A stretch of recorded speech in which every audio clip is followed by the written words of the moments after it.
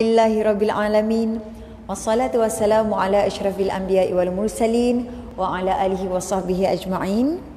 Rabbi shrah li sadri Wa yassir li amri Wahlul uqdatam min lisani.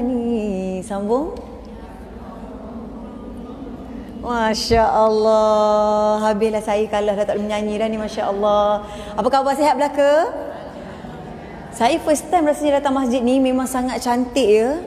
Uh, Dia secantik dengan wajah-wajah ibu-ibu Yang berada depan kami semua ni hari ni. Semua sihat belaka. Amin. Buat cantiknya amin.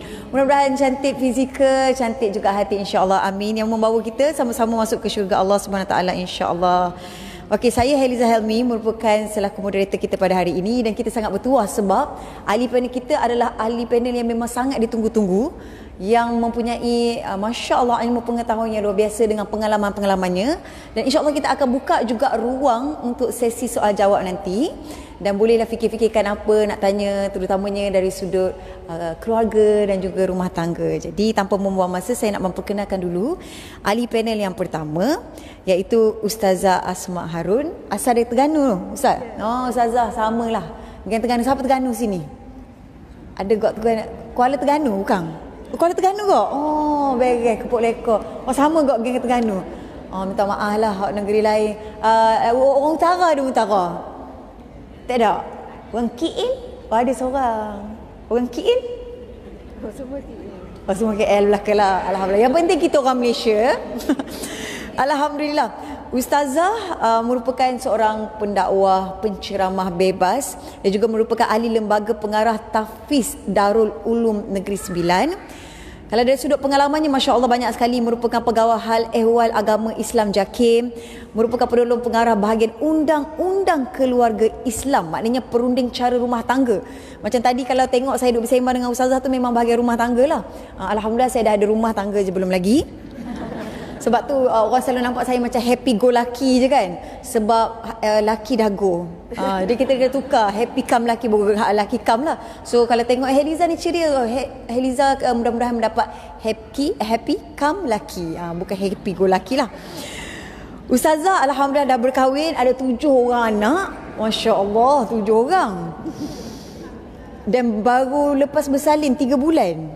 Ah, Masya Allah rezeki mudah-mudahan bertambah-tambah lagi lah. Mungkin boleh buat, buat satu pasukan. Yeah, tim bola terus. Insya Allah mendapat pendidikan Master Pengajian Islam Open University Malaysia dan ijazah sarjana muda Syariah Al-Azhar Mesir.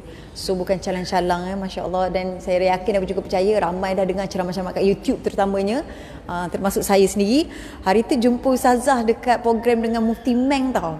First time jumpa terus kata ya Allah Ustazah mudah-mudahan dapat jumpa lagi sekali ini merupakan kali kedua Allah terus makbul doa. Suka teruja dan insya Allah mudah-mudahan bukan ini kali pertama mudah-mudahan ada berkali-kali yang lain darab tolak tambah dan sebagainya lah eh. berkali-kali. Okey, kita terus saja kepada soalan pertama. Kalau kita tengok dalam Al-Quran Ustazah, betulkan saya kalau silap uh, tentang ayat laqad kana lakum fi rasulillahi uswatun hasanah. Demi sesungguhnya bagi kalian pada Rasulullah merupakan contoh ikutan yang terbaik dan kita adalah wanita perempuan macam mana kita nak ikut Rasulullah? Rasulullah kan ialah seorang lelaki. Kalau dia suruh pemakaian pun pakai jubah pakai uh, mana yang berjanggut dan sebagainya. So bagaimana kita nak mengikuti Rasulullah wasallam di dalam uh, pembentukan keluarga yang bahagia insyaallah silakan ustazah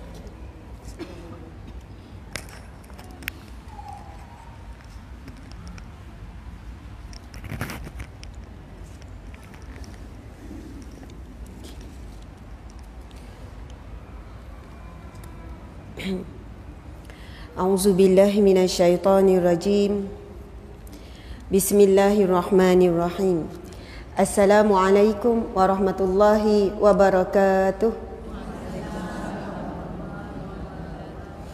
الحمد لله الحمد لله رب العالمين حمدا لله صلاة وسلاما على رسول الله سيدنا ومولانا وحبيبنا وشفيعنا Muhammad ibni Abdullah wa ala alihi wa ashabihi awliya illah. Segala puji-pujian hanya ditujukan kepada Allah Subhanahu wa taala. Selawat dan salam buat Nabi Muhammad kekasih hati kita, kerinduan kita, pemberi syafaat kepada kita. Nabi Muhammad sallallahu alaihi wasallam. Sempena menyambut Maulidur Rasul ini, kita akan disajikan dengan pelbagai dengan banyak majlis-majlis ilmu yang akan menceritakan fokus kepada Rasulullah sallallahu alaihi wasallam. Dan begitu juga yang saya difahamkan tujuan kita berada pada pagi ini untuk bercakap tentang uh, seorang manusia sebaik-baik manusia, sebaik-baik akhlak, seindah-indah rupa, dipuji di langit dan di bumi dan uh, turunnya dan Allah utuskannya membawa rahmat untuk sekalian alam. Bila sebut untuk sekalian alam, ia bukan hanya sekadar untuk manusia, tapi rahmat Rasulullah sallallahu alaihi wasallam ia dapat memberi rahmat ini kesannya masya-Allah Ustazah Laila dah sampai. Allahumma salli kau salam. Okey, masya-Allah. Sama tak muka saya dengan Ustazah Laila? tiba-tiba. Tapi ada iras. Ada beberapa orang cakap ada iras saya dengan Ustazah Laila. Dan kami memang sama umur pun. Kita sebaya. Cuma beza sebulan saya adik ya. Saya adik sebulan. Ha, lebih kurang. Jadi saya lagi muda lah. Kami sama-sama lahir tahun 83. Masya Allah, subhanallah, Alhamdulillah. Para jemaah muslimin muslimat sekalian, bila Rasulullah sallallahu alaihi wasallam diutuskan, ia membawa rahmat untuk sekalian alam dan alam Allah ini melebihi daripada 70 ribu alam, sangat banyak. Kita sangat lemah untuk mengetahui tentang uh, berapa jumlah alam, alam apa di sana yang wujud dan sebagainya. Dan rahmat Rasulullah ini uh, dapat dinikmati oleh pelbagai makhluk.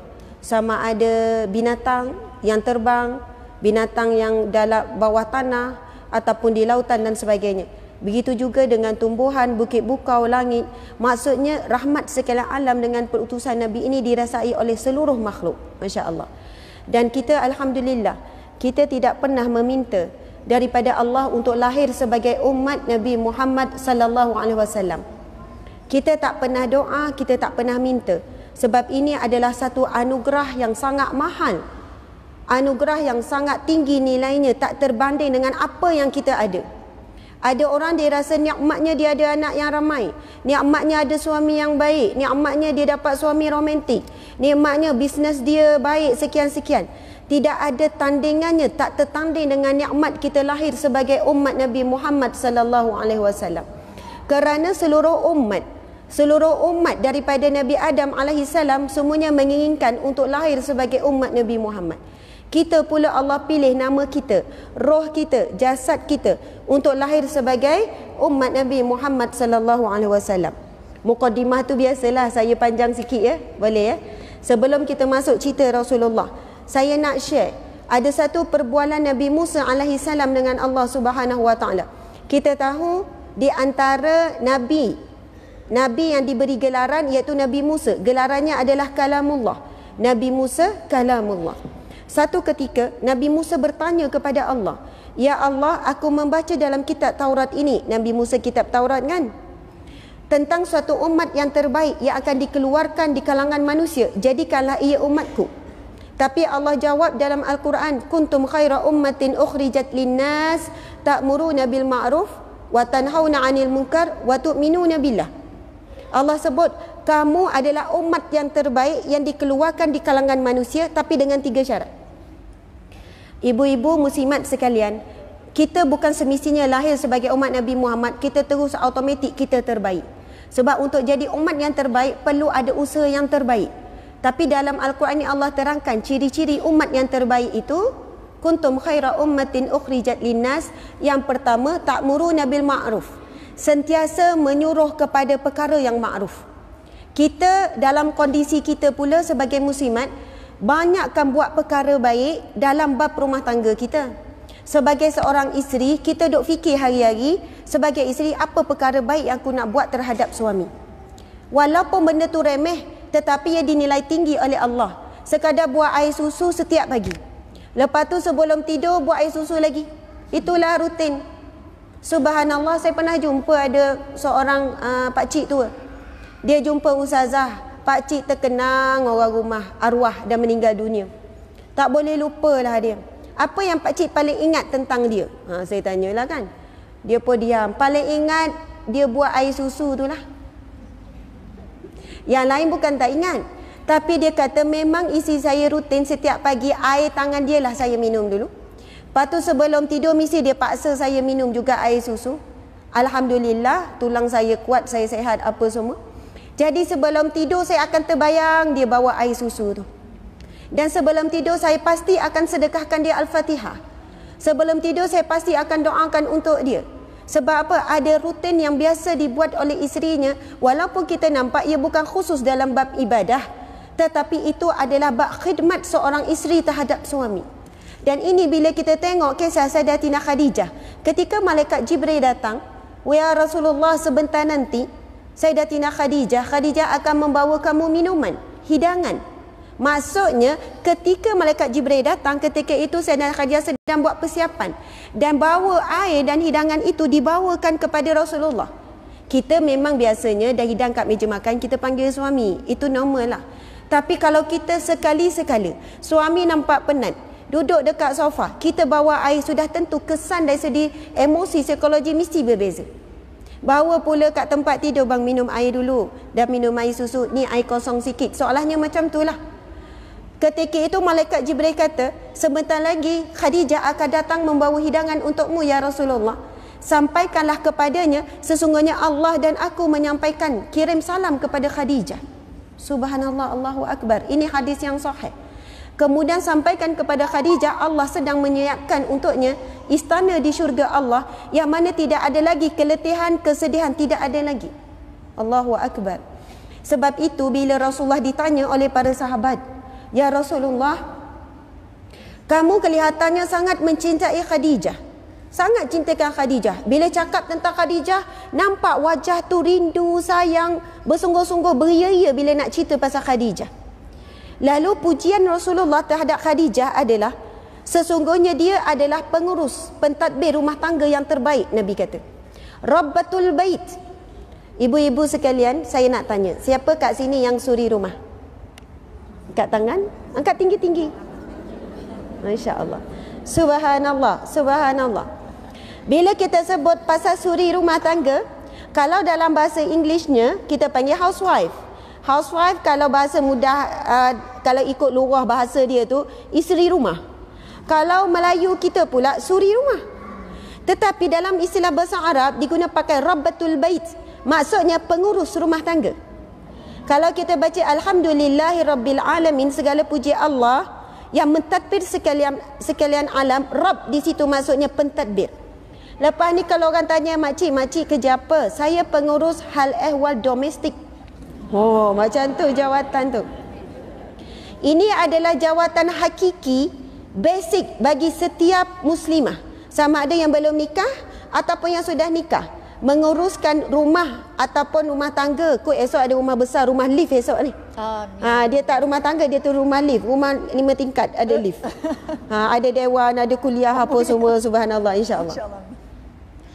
Jadi bila Nabi sebut pengurus rumah tangga yang terbaik, ini adalah amanah ataupun basic tugas bagi setiap wanita. Subhanallah. Lalu bila Nabi puji bahawasanya Sayyidatina Khadijah ini pengurus rumah tangga yang terbaik, dia urus dari sudut anak, dari sudut suami dalam banyak hal, dalam banyak perkara. Dan kita tahu ibunda kita dalam rumah Sayyidatina Khadijah bersama Rasul ada lebih kurang 16 orang. Bukan sikit ramai. Anak sendiri hampir 10 orang. Anak dengan Rasul dalam 6 orang. Anak dengan dua orang suami sebelum itu. Riwayat pertama mengatakan 4 orang. Ada yang kata 5 orang. Maksudnya ibunda kita Khadijah ini melahirkan lebih kurang 10 orang anak. Dalam rumah bersama dengan Rasul juga ada beberapa orang hamba. Ada beberapa orang pembantu. Maksudnya uh, Khadijah menguruskan dengan cara yang sangat terbaik. Dalam masa yang sama Rasulullah sangat sibuk sibuk dengan dakwah dan sebagainya dan sebelum dilantik jadi nabi Sayyidah Khadijah juga membenarkan suaminya untuk sentiasa beruzlah selalu pergi ke gua Hira untuk berduaan dengan Allah Subhanahu wa taala Allahu akbar saya nak kembali tadi kepada perbualan Nabi Musa alaihi salam Nabi Musa kata, aku membaca dalam kitab Taurat ini ya, berbualan dengan Allah Subhanahu Wa Taala. Minta maaf. Umat yang terbaik Allah jawab ia milik Ahmad. Yang kedua, Nabi Musa kata, ya Allah, aku membaca dalam kitab Taurat ini suatu umat apabila dia meniatkan sesuatu kebaikan telah dicatat baginya pahala. Kemudian dia bila dia melakukannya akan digandakan 10 kali ganda. Jadikanlah ia umatku. Lalu apa jawapan Allah? Ia adalah milik Ahmad milik Nabi Muhammad sallallahu alaihi wasallam. Seterusnya subhanallah Nabi Musa doa lagi ya Allah aku baca dalam kitab Taurat ini tentang suatu umat yang mampu menghafal kitabnya jadikanlah ia umatku. Allah jawab ia milik Ahmad juga. Perhatikan Al-Quran yang sangat tebal tu ibu-ibu sekalian. Tapi boleh dihafal setiap huruf setiap barisnya dengan sempurna oleh hafiz dan hafizah kita dan kitab sebelum ini Taurat, Injil, Zabur dan sebagainya tidak mampu untuk dihafal oleh umat terdahulu. Sedangkan kitab yang paling tebal adalah kitab Al-Quran.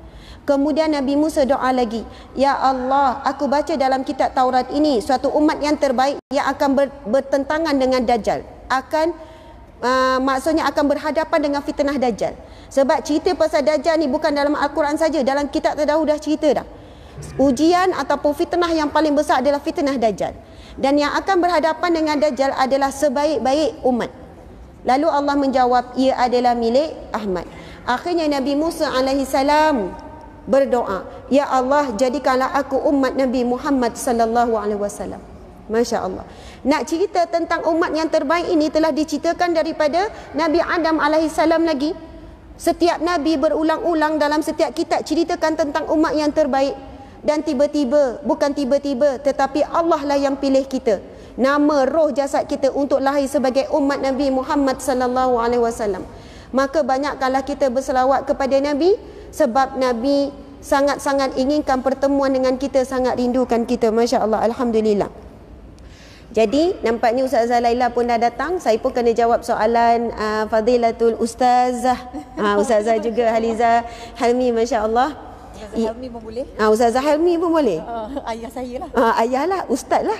Ustaz. Ah ustaz. Eh, Helmi sebenar memang ada kat sini. Helmi sebenar? Uh, ayah saya ada. Ada? Uh, ada. Ah datang sekali. Uh, datang sekali. Masya-Allah subhanallah. Betul lah dapat anak yang soleha insya-Allah. Subhanallah. Um, soalannya Ustazah tadi bagaimana dengan bab uswatun hasanah? Dalam Al-Quran Allah Subhanahu Wa Taala berfirman dalam surah Al-Ahzab ayat yang ke-21. Ibu-ibu sekalian, surah Al-Ahzab ayat 21 yang selalu kita dengar tu. Laqad kana lakum fi Rasulillahi uswatun hasanah. Maka sesungguhnya pada diri Rasulullah sallallahu alaihi wasallam itu contoh tauladan yang baik. Liman kana yarjullaha yaumal akhir wa zakarallaha katsira. Dia akan jadi contoh yang terbaik kepada siapa? kepada orang yang bercita-cita, berkeinginan untuk bertemu dengan Allah dan orang yang selalu banyak ingat Allah. Siapakah yang akan menjadikan Rasulullah ini satu contoh tauladan yang terbaik dalam hidup dia? Bila dia nak berhibur, dia terus fikir. Macam mana nak berhibur ikut sunnah ya? Bila dia nak makan, dia fikir. Macam mana nak makan ikut sunnah ya? Bila nak buat kenduri kahwin anak, dia pun fikir macam mana nak buat kenduri ikut sunnah ya. Bila dia nak memakai pakaian, macam mana nak ikut sunnah ya. Memang Rasulullah pakai jubah, Rasulullah pakai sekian-sekian. Tapi di situ boleh jadi ikutan bagi muslimat, Rasulullah memakai pakaian takwa. Ha. Rasulullah memakai pakaian yang boleh menambahkan keimanan. Rasulullah memakai pakaian kerana Allah, menjaga marwah, menjaga aib diri. Kita tahu maksud aurat adalah apa dia maksud aurat? Aurat ini adalah aib. Bila kita tutup aurat, kita sedang menutup aib diri kita. Masya Allah. Sebab itu bila kita sebut uswatun hasanah, contoh tauladan yang terbaik ini ibu-ibu sekalian, ia bukan satu contoh terhadap lelaki saja, tetapi wanita wanita muslimah juga perlu mencontohi Rasulullah sallallahu alaihi wasallam. Ayat ini yang dibacakan oleh Haliza tadi, oleh ukhti Aliza tadi, Ayat ini dalam surah Al-Ahzab. Ia berkenaan dengan satu perang yang namanya perang Al-Ahzab. Dan dalam peperangan ini Rasulullah sallallahu alaihi wasallam diuji sangat dahsyat. Kepungan, penderitaan dan pelbagai bentuk ujian dalam peperangan Ahzab ini. Namun dalam cerita ini Rasulullah menunjukkan sifat sabar, sifat tenang dan menenangkan para sahabat. Saya teringat satu ketika Rasulullah sallallahu alaihi wasallam dalam perang Khandaq. Perang Khandaq ni kita tahu Khandaq ni masuk dia parit. Yang mana umat Islam ketika itu menggali parit yang dalam supaya menghalang daripada tentera, tentera berkuda dan sebagainya. Jadi parit ni bukan kecil ya, besar. Dibuat benteng khandak ini parit ini begitu luas begitu besar dibawa terik matahari. Dalam keadaan ketika itu umat Islam lapar tak ada makanan yang cukup sangat kelaparan. Ketika itu beberapa orang sahabat dah pun orang kata apa melepek dah tak terdaya dah. Masing-masing dah penat dah haga masing-masing dah tak tak ada makan yang cukup dah tak mampu dah Rasulullah. Masing-masing macam serenda hampir nak serenda dah tak larat dah. Ketika itulah Rasulullah turun ke dalam parit. Rasulullah turun Rasulullah ambil cangkul. Kemudian Rasulullah buka baju Nabi Muhammad wasallam. Kita buka baju. Ketika itu kelihatan pada pada perut Rasulullah perut yang sangat kempis nampak tulang Rasulullah yang sangat kurus badannya kemudian nampak ikatan Rasulullah mengikat perutnya dengan dua batu Maksudnya kalau satu batu tu lapar sangat dah. Tambah lagi dua batu terlampau lapar. Kenapa diikat dengan batu? Ikat dengan tali belum cukup lagi untuk menahan angin masuk. Maka untuk kuatkan lagi ingatan tu diletakkan pula batu. Ketika itulah sahabat bila tengok menangis semua tengok sebab mereka ingat mereka fikir diri mereka saja penat dan letih ketika itu. Tapi bila melihat Rasulullah turun dalam parit Rasulullah gali sama dalam keadaan ada batu. Subhanallah Allahu akbar. Sebab itu kadang-kadang kita lihat bila orang cerita tentang uswatun hasanah contoh teladan yang baik perasan tak ibu-ibu sekalian? Kita lebih banyak bawa cerita romantik cerita seronok-seronok cerita gembira-gembira bukan kata tak boleh tapi di sana ada masih banyak cerita Rasulullah yang sangat menyedihkan, yang sangat menduka citakan. Dalam rumah tangga Rasulullah bukan semua cerita yang indah-indah semuanya. Tetapi di sana ada banyak konflik dalam rumah tangga Rasulullah. Dan Rasulullah menjadi contoh tauladan yang terbaik. Bagaimana cara untuk menguruskan konflik. Dan menguruskan konflik dengan yang terbaik itulah romantik yang sebenar. Kita faham kalau romantik ini ialah dipujuk, ada aktiviti kejar mengejar, ada aktiviti suap menyuap, ada aktiviti peluk memeluk, tetapi romantik sebenar Rasulullah Rasul tunjukkan bagaimana hebatnya Rasulullah tenang dan sabar apabila ada konflik. Sebab itu kalau kita tengok Al-Quran, dalam Al-Quran tidak ada himpunan kisah menceritakan tentang cerita yang seronok-seronok dalam rumah tangga Rasulullah. Bahkan kalau kita tengok dalam surah At-Tahrim sendiri menceritakan tentang bagaimana hampir-hampir sahaja dua orang isteri Nabi diceraikan oleh Rasulullah sallallahu alaihi wasallam. Dalam sirah Rasulullah, Rasul pernah menceraikan Hafsah, anak Saidina Umar dua kali. Dua kali. Insya-Allah next ini saya akan kongsikan bagaimana. Dan Hafsah kata, sesungguhnya aku diceraikan Rasulullah bukan kerana agamaku. Dan setelah diceraikan Hafsah, datang malaikat Jibril. Ya Rasulullah, Allah memerintahkan kamu supaya merujuk kembali Hafsah kerana Hafsah seorang wanita yang begitu kuat qiyamul lail dan begitu banyak berpuasa.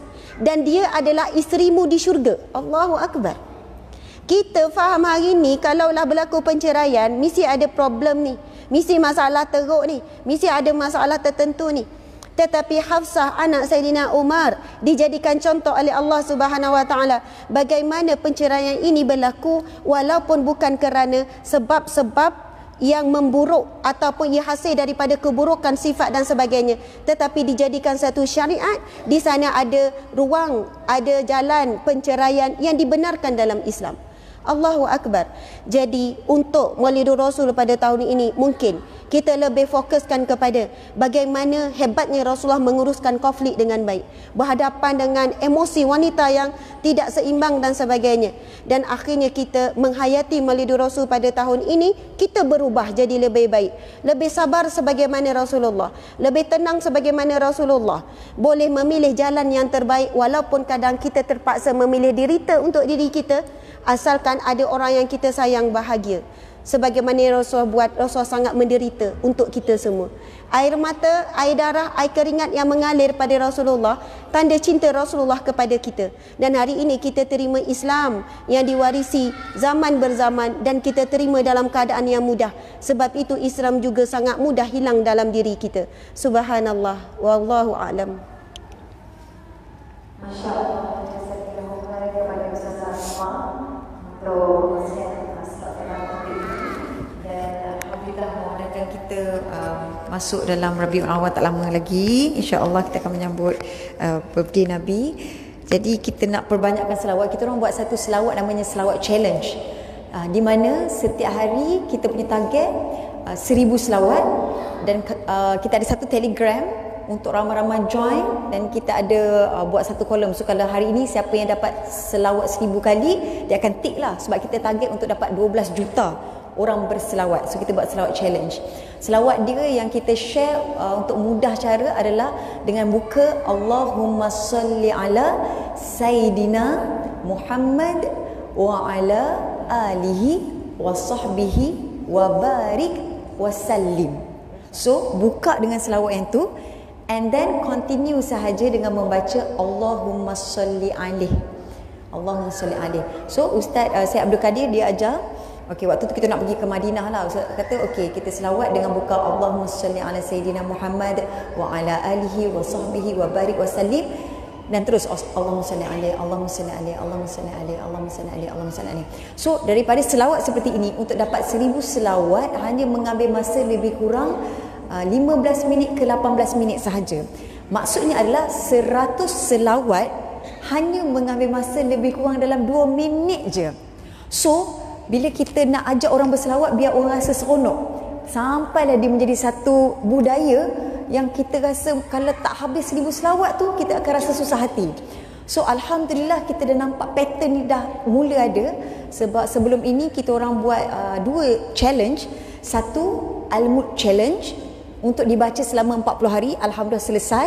Semalam saya dekat Damansara berjumpa terjumpalah seorang uh, remaja perempuan ni wanita ni dia cakap uh, Kak Heliza Alhamdulillah saya dah sahut Almut Challenge tu. So maknanya benda tu sampai dan akhirnya lepas 40 hari dia akan rasa macam pelik kalau dia orang tidur tanpa baca Almut so sekarang ini seterusnya adalah selawat challenge pun kita buat 40 hari.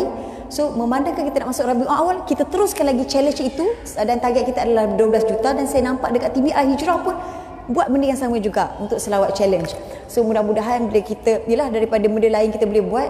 Apa lebih baiklah kita uh, duduk saya saja pun uh, Allahumma salli alaihi Allahumma salli alaihi. Tapi kena buka dulu lah dengan selawat yang panjang tadi tu. So alhamdulillah uh, sebelah saya ni panel kita pun sebelum ni kita berforum dekat mana eh? beberapa kali sebenarnya saya berforum dengan uh, ahli panel kita yang kedua ini. Saya perkenalkan Ustazah Nur Laila Aniza binti Zakaria. Berasal daripada Tepin Perak ah tu orang Perak ada di sini. Ada Tepin ke Kuala Kasar Batu gajah. Oh, sebab ayah teman ni orang Perak. Mengkoma dia yang dah berbunga. Ha, dekat ayah terjun lagu tu lah. Ha, mak saya orang Terengganu. Jadi kita kena tukar frekuensi lah. Ha, kat Terengganu, tukar Terengganu. Tapi duduk kat Sabah boleh bakal kau sudah lama. Sudah 12 tahun duduk di Sabah tu. Saya sekolah daripada sekolah menengah sampailah habis universiti. Memang di Sabah. Ha, jadi begitulah. Jadi kadang-kadang saya pun pening dengan diri sendiri. Saya ni berasal daripada mana lah. Jadi Ustazah berasal daripada Tepin Perak uh, Alhamdulillah dah berkahwin. Uh, Tadi kalau saya dapat gu, Daripada Google ni Tiga orang cahaya mata. Tu Saya kata empat. Oh dah tambah juga. Alhamdulillah Dua-dua belah ahli pandai saya Memang ada penambahan di situ. Saya tak tahu bila nak bertambah lah ya. Mungkin bertambah marah. Eh tak boleh tak boleh, tak boleh marah eh. Tapi tapi tak apa. Yang penting kita kena belajar Menguruskan konflik. Uh, Marah tu uruskan konflik. Macam mana supaya kita uh, Sabar je lah ya. Walaupun nama kita bukan Sabariah Tapi tak apa. Kita kena belajar sabar uh, merupakan lepasan ijazah sarjana muda undang-undang. Patutlah hebat masya-Allah daripada UIA dan merupakan pakar motivasi dan kerap muncul dalam stesen-stesen TV. Jadi kepada soalan eh, kepada soalan berada ustazah bukan nama soalan eh. Uh, ustazah Nulaila soalan pertama saya adalah So kita nak cakap pasal usrah ataupun kita nak cakap pasal keluarga. Kita nak tanya pandangan ustazah zaman sekarang kita ni. Budaya keluarga kita ni sama dengan uh, cara yang zaman dulu ke ataupun dah berbeza ke ataupun kita dah terikut-ikut dengan budaya barat ke ataupun macam mana ustazah? Silakan.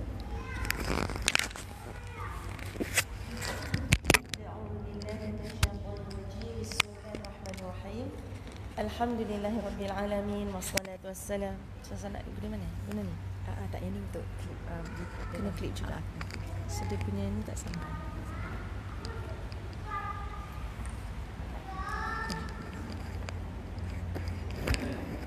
Tak maaf banyak orang ni dia macam tak seperti lah. Bismillah. Okey. A'udzu billahi minasyaitonir rajim. Bismillahirrahmanirrahim. Alhamdulillahirabbil alamin wassalatu wassalamu ala asyrafil anbiya wal mursalin wa ala alihi wa sahbihi wa barik wassallim. Allahumma salli ala Muhammad wa ala ali Muhammad. Assalamualaikum warahmatullahi wabarakatuh. Ustazah selalu kata kalau Ustazah ceramah depan seribu orang yang jawab salam tu macam lima orang. Mari kita jawab sekali lagi. Assalamualaikum warahmatullahi wabarakatuh. Masya Allah ada rupanya. Subhanallah. Alhamdulillah. Baik, uh, Ustazah uh, ucapkan terima kasih pada pihak penganjur dan juga pada rakan panel uh, Ustazah Asma dan juga uh, Heliza yang masih kekal cantik menawan. Masya Allah. Moga-moga Allah kurniakan jodoh yang terbaik dunia akhirat. Masya Allah. Amin ya rabbal alamin. Sampai syurga paling tinggi. Amin. Baik. Um, untuk para jemaah yang ada di hadapan ustazah, mudah-mudahan malaikat sentiasa mendoakan keampunan buat kita dan rahmat Allah mencurah-curah ke atas kita. Asbab kita datang ke rumah Allah dengan niat untuk belajar, dengan niat untuk memperbaiki diri, dengan niat untuk mendapat redha Allah. Amin, amin, amin ya rabbal alamin. Baik. Bila kita sebut tentang keluarga, Ustazah Asma pun dah cerita panjang lebar tentang keluarga ini dan Ustazah membawa kesinambungan seterusnya. Bila kita sebut tentang keluarga dari segi bahasa Arabnya adalah usrah ataupun kalau zaman sekarang kita sebut usrah ni kalau kita nak berkumpul program-program agama, apa-apa aktiviti, tapi keluarga ini adalah satu entiti yang mana dia tak akan terbentuk dengan seorang diri. Ha, kalau kita seorang kita adalah kita berkeluarga kan? Dia kena ada ibu ayah ataupun suami isteri.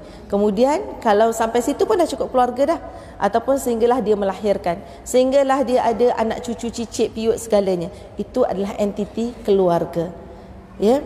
Dan sama juga kalau seorang itu anak yatim anak angkat dan dibela, dijaga ataupun dalam rumah kebajikan misalnya. Itulah entiti keluarganya Maksudnya kita ni bukan berseorangan dekat dunia ni. Kita semua ni bersaudara. Lebih erat lagi dan itulah keluarga. Seorang mukmin, mukminah, seorang muslim, muslimah, mereka ini kita ini semua yang ber, uh, bertauhidkan kepada kalimah la ilaha illallah Muhammadur Rasulullah itu adalah keluarga. Subhanallah. Jadi tak akan terpisah. Kalau cubit peha kanan, peha kiri terasa sakit. Kalau kita sakit gigi perempuan, ibu-ibu, sakit tak seluruh badan? Sakit. Macam itulah kita kalau orang Islam. Orang Islam yang ada iman yang kuat. Orang Islam yang mengasihi sebab apa? Syurga takkan dimasuki melainkan oleh orang yang berkasih sayang. Kalau kita nak menuju jalan-jalan ke syurga, kalau kita ini banyak dengki, kalau kita ini banyak khianat, kita ini banyak hutang tapi tak pernah nak bayar, kita ini banyak menyakiti, banyak menzalimi, takkan cium bau syurga. Tak ada tempat untuk kita di syurga. Melainkan dengan pengampunan Allah, dengan rahmat Allah, dengan izin Allah. Sebab tu bila jadi satu keluarga, dia membentuk satu keluarga kecil, kemudian satu ummah yang besar. Sebab tu tak boleh jaga rumah sendiri je, kena jaga rumah jiran-jiran. Tak boleh jaga rumah jiran je, kena jaga rumah kawan-kawan. Tak boleh jaga rumah kawan je, kena jaga satu negara, subhanallah. Dan bukan saja jaga satu negara, jaga satu dunia. Kena ada niat tersebut. Kena ada niat sayang supaya segala infak kita, doa kita, harapan kita, dakwah kita sampai pada satu dunia. Satu senyuman pun ibu-ibu, puan-puan sudah dikira sedekah betul? Satu ucapan baik pun sudah dikira sedekah. Satu perbuatan diam kerana tidak mahu marah berlebih-lebihan pun satu sedekah. Jadi banyak sangat nikmat yang Allah beri kepada kita dalam sebuah entiti atau keluarga. Bila um, Heliza tanya ustazah berkaitan sama ke macam mana keluarga kita sekarang ini dengan zaman Nabi sallallahu alaihi wasallam. Subhanallah kalau ustazah boleh kira kan ia seperti langit dan bumi. Langit ketujuh sampai bumi ke bawah yang ketujuh lah kalau ada lagi. Subhanallah. Jauh beza langit dan bumi. Iman kita hari ini senipis bahkan lebih nipis daripada kulit bawang. Tetapi istimewanya kita sebab Nabi mengenali kita sebelum kita diciptakan lagi. Sayangnya Nabi kepada kita sebelum kita lahir lagi. Doa kita semua berada di sini dan dapat kalimah Islam ini, dapat tauhid, dapat la ilaha illallah ini sebab doa Nabi. Tak ada seorang pun yang ada di sini tanpa doa Nabi. Subhanallah. Setiap seorang dah ada package doa Nabi. Sebab tu kalau kita kata kita susah, kita sedih, kita menderita, Nabi dah doa dekat kita. Mana boleh susah, mana boleh derita? Takkan. Derita itu akan menjadi penguat iman. Apa juga masalah rumah tangga kita, apa juga ujian dalam keluarga kita, Nabi dah siap-siap package doa untuk kita. Subhanallah. Tapi ada satu syarat dia. Syarat dia ikat hati kita betul-betul dengan Allah. Itu syarat dia. Kalau kita lari jauh daripada Allah, Allah tinggalkan kita. Allah tinggalkan kita. Pernah dengar istilah istiqraj? Ha, istiqraj ni apa? Istiqraj ni adalah satu keadaan yang mana Allah memberikan nikmat. Bagi, bagi, bagi. Keluarga bahagia nampak. Anak semua menjadi jenis-jenis semua. Kereta besar. Suami penyayang subhanallah. Bahagia amat-amat. Tetapi, apa yang terjadi adalah dia ni tetap bermaksiat. Solat dia tinggal. Kadang-kadang dia cuai solat. Kadang tidak menutup aurat sempurna. Dan Allah tetap bagi dia nikmat. Dan dia menyangkakan Allah sayang dia. Ini paling bahaya. Dia menyangkakan Allah sayang dia tak solat pun tapi banyak nikmat Allah bagi alhamdulillah. Dia ucapkan alhamdulillah itu tanpa menjadi kalimah. Tanpa menjadi kalimah darah daging. Orang ucap alhamdulillah ini perlu sehingga meresap dalam hati. Benar-benar rasa syukur. Dapat musibah syukur. Dapat gembira pun syukur. Pada orang mukmin tidak ada yang buruk. Semua cantik. Bukan kata contohlah anak meninggal bukan kata tak boleh menangis. Boleh menangis ibu-ibu dan itu fitrah Nabi sallallahu alaihi wasallam ketika kematian isterinya Sadatina Khadijah ya Allah. Nabi Nabi memang sangat sedih. Itu musim kesedihan Nabi sallallahu alaihi wasallam. Tidak ada lagi pendukungnya tapi kita mungkin hari ini kalau pasangan dah meninggal alhamdulillah meninggal dah punya Alhamdulillah. Ada satu orang makcik ni dia datang dekat pejabat agama berkali-kali. Ni Ustazah forum dengan dia berkali-kali datang dekat pejabat pejabat agama. Nak bercerai dengan pak cik ni sebab pak cik ni suka maki hamun. Suka jerit-jerit lah suka cakap macam-macam lah yang buruk tapi kata ustazah tu sabar acik sabar acik sabar acik. Dan acik ni pun balik. Tiba-tiba tak berapa lama lepas dalam 3 tahun macam tu dia datang balik. Dia datang balik dia nangis nangis nangis dekat ni. Kenapa cik ada lagi masalah yang sama ke? Tak, pak cik kau dah meninggal dah pun. Oh. Habis kenapa cik nangis? Kalau cik tahu daripada dulu lagi cik minta cerai. Biar sebelum meninggal, lama sangat tiga tahun tu nak tunggu. Ha, sampai bencinya bawa sampai mati. Ada juga rumah tangga yang pasangannya kalau kau ada aku lagi sakit hati tengok muka. Baik tak ada. Baik tak ada depan mata. Sebab pedihnya tengok. Ha, rimahnya tengok. Eh ada. Sebab Lepas sebab dah tak tahu eh tak tahu eh subhanallah. eh jangan. Jangan tak boleh. Eh jangan jangan jangan. jangan. Dia sebab apa puncanya tak ada eh, Sebab apa pun tak ada pula Pasal apa puncanya jadi gitu Sebab daripada awal kahwin menyakiti Dari awal kahwin tak tahu nak jaga lidah Dari awal kahwin tak tahu matlamat perkahwinan ni nak bawa sampai syurga Jadi kita main hentam, main laser Uh, main laser, main suka hati cakap mulut dia cakap, aku fikir balik apa aku nak lepas dekat dia? Apa aku nak sakitkan balik hati dia? Kata ada seorang suami tu dia kata dekat isteri dia ni pun cerita benar juga. Dia kata dekat isterinya, awak ni kerja makan banyak je. Dia kata, makan banyak je, gemuk gedempol badan awak. Terasa kan? Eh bukan kisah ustazah. Ah, kisah orang lain. Dia kata, dia kata dekat isteri, awak ni kerja makan banyak, teras, apa gemuk gedempol dah jadi. Lepas tu tak apalah, Sekejap lagi isteri dia mandi-mandi-mandi fikir apa aku nak cakap dekat suami ni. Fikir ni sebab nak lawan. Nak balas balik. Ha, memang itu berlaku dalam rumah tangga. Cuba cek balik kita. Kan? Kemudian isteri dia keluar pada bilik air tengok-tengok suami tengah terbaring depan TV. Terbaring depan TV gitu dah. Lah macam ikan duyung terbaring. Eh dugong, dugong. Macam dugong terdampar tepi laut. Dia kata kat suaminya. Lalu mereka ni hidup berbalas-balas. Dah tak jadi nikmat seperti mana kehidupan Rasulullah. Itu baru benda kecil. Tetapi kesan dari benda kecil ini makan hati ini dan dengan tidak jaga solatnya, dengan tidak faham hukumnya, menyakiti itu sehingga umur dah perkahwinan 20, 30, 40 tahun, kita sanggup bercerai. Kita dah tak tahan dah, tak sanggup dah. Ustazah, bila ditanya sama ada kehidupan kita sama tak macam zaman Nabi SAW, kita nak meniru, nak ikut walaupun tak sampai level Haliza kan, tapi nak ikut. Ustazah, Ustazah ingat sebuah kisah ini, Ustazah bertalaki dengan uh, uh, guru Ustazah. Ada banyak guru talaki Ustazah ni salah seorangnya. Ustazah kata pada tak macam mana kami berbual tentang kehidupan uh, macam mana cara didikan mak ayah dan sebagainya. Istimewanya Ustazah dapat tips ni Ustazah kata, saya tanya terus terang dekat guru Ustazah. Uh, Ustazah panggil Ustazah Hajar waktu tu. Saya, Ustazah Hajar, Ustazah ni kaya sangat ke? Saya tanya gitu. Ustazah ni kaya sangat ke sampai uh, boleh mengajar ajar mengaji je gitu? Ha betul ni tu soalan betul ni. Ajar mengaji je ustazah. Kerja ustazah buka mata sampai ke malam sampai ke siang ajar mengaji je ustazah. Keluarga ustazah ni kaya sangat ke? Tak payah kerja lain ke ustazah? Kan kita kena kerja ni.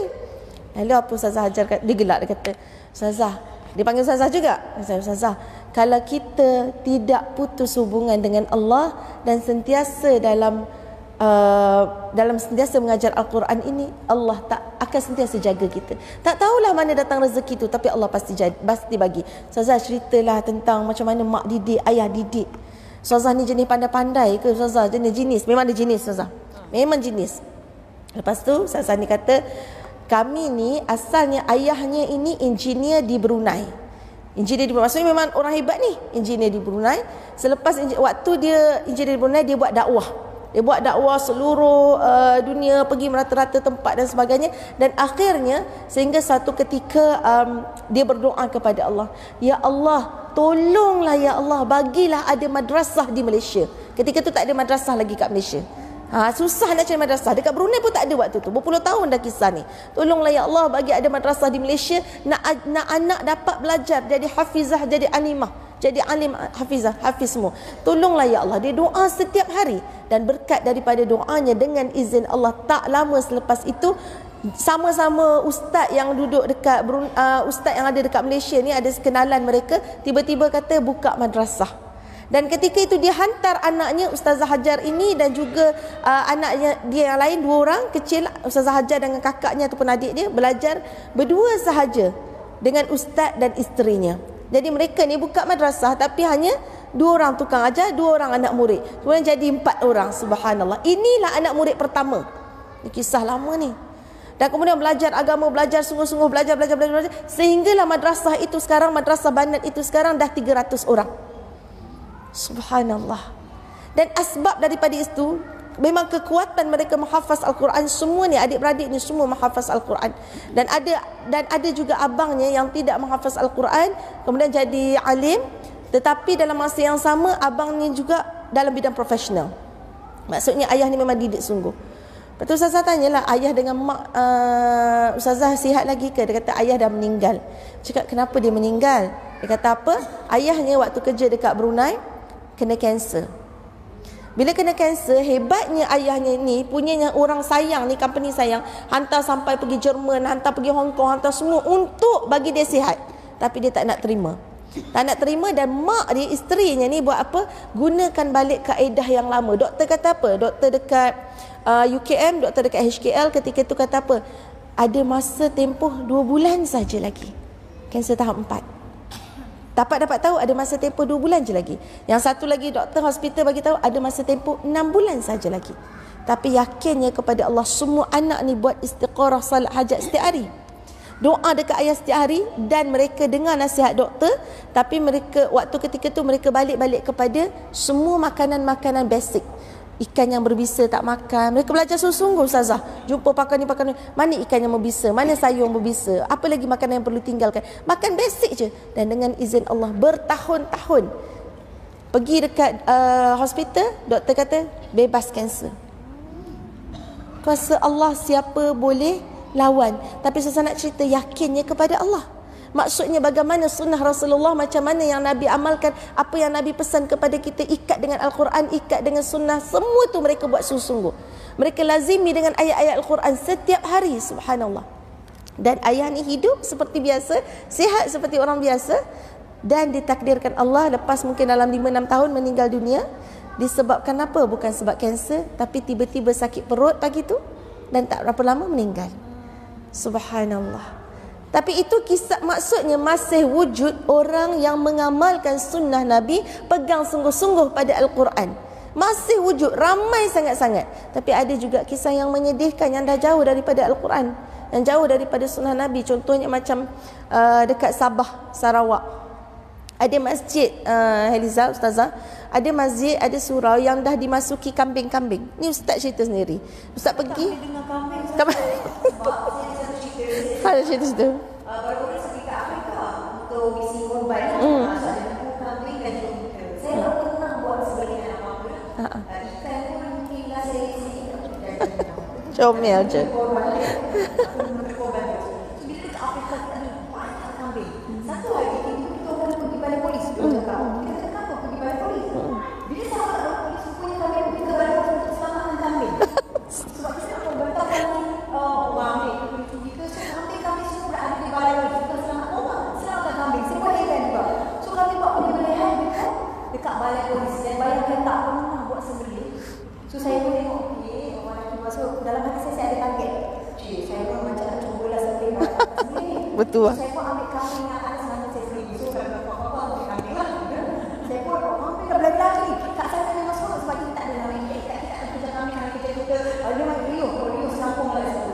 So bila saya dah dapat satu kambing saya pun baringkan dia. So waktu tu saya masih nak boleh pegang kepala. Okay, sebab dah memang belajar kita kita tengok orang buat saya pun pegang kepala. Bila pegang kepala saya dengar nadi dia. Dia macam nervous. Dia nervous. Saya tak tahu sudah dia nervous. So, saya tak tahu. Saya tengok orang lelaki tu Dia macam tinggi kita sebenarnya uh, Ada satu cara dia buat macam ni Satu lagi dia pegang pisau dia sebelah macam ni Hmm. Sekarang saya nak buat macam happy birthday to you lah uh, So macam ni tak tak kuat lah kan okay.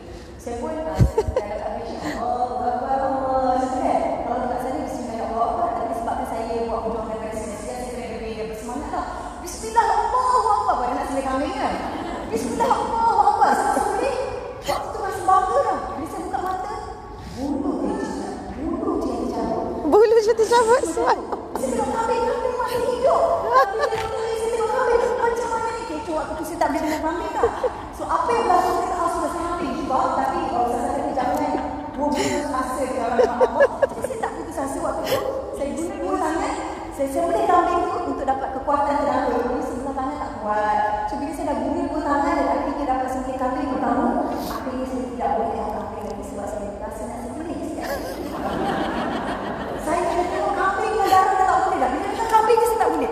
Sebab sangat menyebabkan buat penyembelihan itu. So sempat kambing je. Lepas kambing ke-18. Kambing tu juga saya dah macam orang gila dah kat situ macam vampire. Dan macam pembunuh ke sini pun juga. Sebab kambing saya dia. Tulis Dah tahu lah mereka tu dia kata cukup dah. Dan macam orang gila sudah banyak orang. Betul kan? Saya tak ada satu tak boleh cukup-cukup. Sebab kita ada beribu kambing. Satu kambing kita ada sengaja. Dia memang lagi ni. Proses yang kita to you. Welcome. Comel je kan, comel. Uh, tapi uh, Bapak Seks semua lain kita dia pembunuhan dan penyembelihan saja. So Ustazah boleh ceritakan Yes. macam mana Ustazah? Ingat kan uh, Kayaknya kita berduet uh, Heliza rasanya daripada tahun 2008 kot Berduit. Berduet lah kita Berforum kan uh, juga okay. Dia orang dekat. Jadi memang memang sifat Heliza memang gini Dia memang selain daripada comel Suara yang sedap Baik hati Penyayang Termasuk dia pandai sangat buat lawak. Jadi Saza menyerulah. Siapa yang tengok live dan yang ada kat sini Tolonglah masuk minang dia. Jadikan menantu Subhanallah. Tapi pastikan sekufu. Sekufu dan pastikan lebih lagi pada tu Subhanallah. Betul tak? Dan dan yang berkat pastikan. Ha, cik, cik. Eh insyaAllah. Cari cepat-cepat. Betul betul. Jangan kita buang peluang dapat wanita solehah. Betul. Introduction saya buat-buat ni sopan. Dan saya sopan. sopan. Dia Memang sopan insyaAllah Tak kita jadi mak mentua yang takkan kering gusi Alhamdulillah Susah kalau menantu nak hiburkan Menantu yang jenis skima Duduk diam Taat gitu kan Ah Ni istimewa Jadi tolong cepat cepat cepat. Subhanallah Comel. Baik um, Cerita dia apa lupa Saya pun dah lupa dah. La haula wala quwata illa billahil azim. Okey baik, apa dia? Ah, surau masuk kambing. Subhanallah. Terima kasih. Baik. Sampai di Sabah, di Sarawak ni, surau itu sendiri, masjid itu sendiri bukannya tempat dilaungkan azan dah. Dah tutup dah, Pak Imam pun tak bangun dah. Bilal pun tak bangun dah. Jemaah lagi lah confirm tak bangun. Tapi yang penuhnya adalah kambing. Ini kisah benar. Eh, Ustaz pergi dekat situ dan cek ya Allah memang memang kat situ tak sampailah dakwah di situ. Itu satu. Okey. Kemudian ada saya ingat sebuah keluarga ni saya pergi dekat satu perkampungan ni. Ini memang sangat menyedihkan hati saya yang jauh daripada agama. Pergi dekat sebuah perkampungan ini yang mana perkampungan ini setiap rumahnya itu pasti ada anak zina. Sangat menyedihkan. Anak zina pasti ada di dalamnya anak zina dan dijaga oleh mak ayah yang juga berzina. Dan kemudian maksudnya semua satu keluarga dan adik-beradik ni kira abang jaga, kakak jaga, adik jaga, tukang jaga cucu-cucu ni tak tahu dah anak siapa ni. Sangat-sangat-sangat menyedihkan. Anak perempuan balik rumah waktu-waktu tu, waktu tu selepas keluar pergi minum arak, pergi ke pub, balik rumah. Mak tanya, uh, bila ayah tanya pada mak, mak ni kata, dia mau balik jumpa kawan. Pergi ke pub ke apa? Tak, tak, tak, tak, tak. Kotak, kotak rokok ini penuh satu rumah. Ayahnya tahu, maknya tahu. Tapi buat-buat macam tak nampak. Sebab mak ayah pun tinggal solat. Kalau ibunya itu bersolat, tapi dia solat, dia campur dua. Kalau waktu asar, dalam uh, kalau waktu zuhur, dalam waktu asar. Asar dalam waktu maghrib. Maghrib nanti dalam waktu isyak. Isyak nanti waktu subuh. Jadi itu tak disolat. Tapi bila tanya anak, anak kata maknya bersolat. Tapi macam itulah. Anaknya pun tak faham agama. Dan anak tadi pun melahirkan anak zina. Bila kita dengar kisah macam ni yang terbelit dengan zina, terbelit dengan minum arak, terbelit dengan perlakuan-perlakuan sumbang sebegini, Saza berpesan kepada diri Saza dan kita semua jangan melihat buruk keluarga orang. Tapi istighfar, astagfirullah ya Allah ampunkan kami ya Allah. Kita yang tak sampai dakwah. Kita yang tak sampai ke situ, sazah dan kita semua itu satu. Yang keduanya adalah istighfar kerana kita sangat banyak dosa yang Allah tak zahirkan. Ini Allah zahirkan ni. Tapi kita banyak dosa yang Allah tak zahirkan. Kalau Allah zahirkan, lagi malu kita. Kalau Allah buka aib kita, seluruh penduduk daripada Nabi Adam sampailah hari kiamat. Nampak dosa kita, lagi malu kita. Jadi jangan buka aib orang. Jangan cerita buruk orang. Tak payah cerita buruk orang. Bila kita dengar satu kisah sebegini, apa kita perlu buat? Ya Allah, kasihani keluarga ini. Ya Allah, beri taufik hidayah kepada mereka. Ya Allah, ampunkan mereka. Ya Allah, selamatkan mereka daripada azab api neraka. Doa banyak untuk orang. Doa banyak untuk orang. Bila kita doakan orang, malaikat doakan kita. Nak dapat keluarga bahagia, kena dapat doa malaikat. Nak dapat keluarga bahagia, kena doakan keluarga orang. Jangan tengok nampak buruk bagi contoh ke anak. Cuba tengok anak dia gana. Anak dia, Allah, buat mak dia gitu, perangai tak elok. Kau nak jadi gitu ke? Itu bukan nasihat kepada anak. Ustazah tidak menasihati sedemikian, mak ustazah tak nasihat sedemikian. Mak ustazah kalau tahu satu benda yang buruk, dia tak akan cakap, ah, cuba tengok anak dia tu. Nak jadi gitu ke? Ah, kau jangan jadi gitu, kesian mak yang dia nangis. Tak payah, jangan cerita buruk. Memang semua orang dah tahu benda tu buruk. Tapi kita doakan. Dan cerita kebaikan orang ni. Pasti ada kebaikan pada orang yang buruk ini. Pasti ada. Dan kemudian satu lagi Nabi ajar doa. Tadi minta doa untuk orang tersebut. Betul, untuk keluarga tersebut. Satu lagi Nabi ajar doa. Minta doa perlindungan untuk diri dan keluarga kita. Ya Allah, janganlah diuji kami sekeluarga dengan ujian yang sedemikian.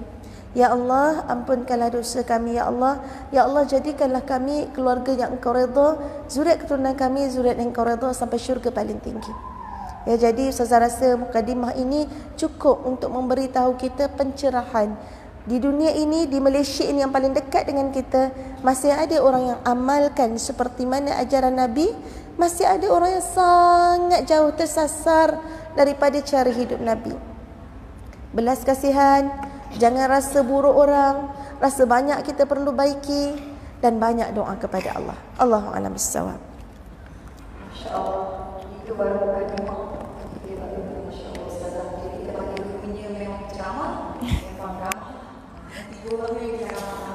Okay. Um, terima kasih Ustazah atas uh, pencerahan untuk soalan pertama. So untuk soalan kedua, sebelum pergi kepada soalan saya ada soalan introduction. Nak tanya ni kepada orang-orang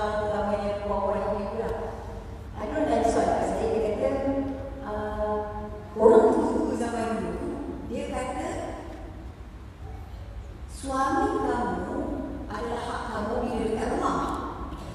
Bila dekat luar, itu bukan hak kamu. Saya terkejut. Terus tanya macam, belum ada buat ada hak. So, saya tak faham. Jadi, rasa macam, uh, ni cerita orang-orang tua zaman dulu. Jadi, benda dia sampai dekat generasi sekarang, generasi sekarang takut salah tafsir. Apakah maksudnya yang sebenar? Bila dah jadi suami dekat rumah, pasal tak ada dekat badan, tak ada suami kita ke, macam mana tak maksud dia? Macam tu lebih kurang. Jadi, kita nak tanya kepada Ustazah. Dan juga, kita nak mencontohi ni, akhlak-akhlak Nabi Muhammad SAW dalam rumah tangga kita. Ah, Sebagai seorang isteri, sebagai seorang anak, apakah akhlak-akhlak yang terpuji yang boleh kita amalkan supaya kita bila balik nanti ni ada perkara-perkara yang kita boleh amalkan. Contohnya macam sebelum kita nak senyum susah dalam macam konflik tu, konflik tu nak kena buat macam mana kalau dah bergaduh tu. Terutama bila depan mak mentua dan sebagainya. Ha, macam tu. Itu depan konflik. Kalau konflik tak ada masalah sebab makan je lah macam tu. Saya rasa.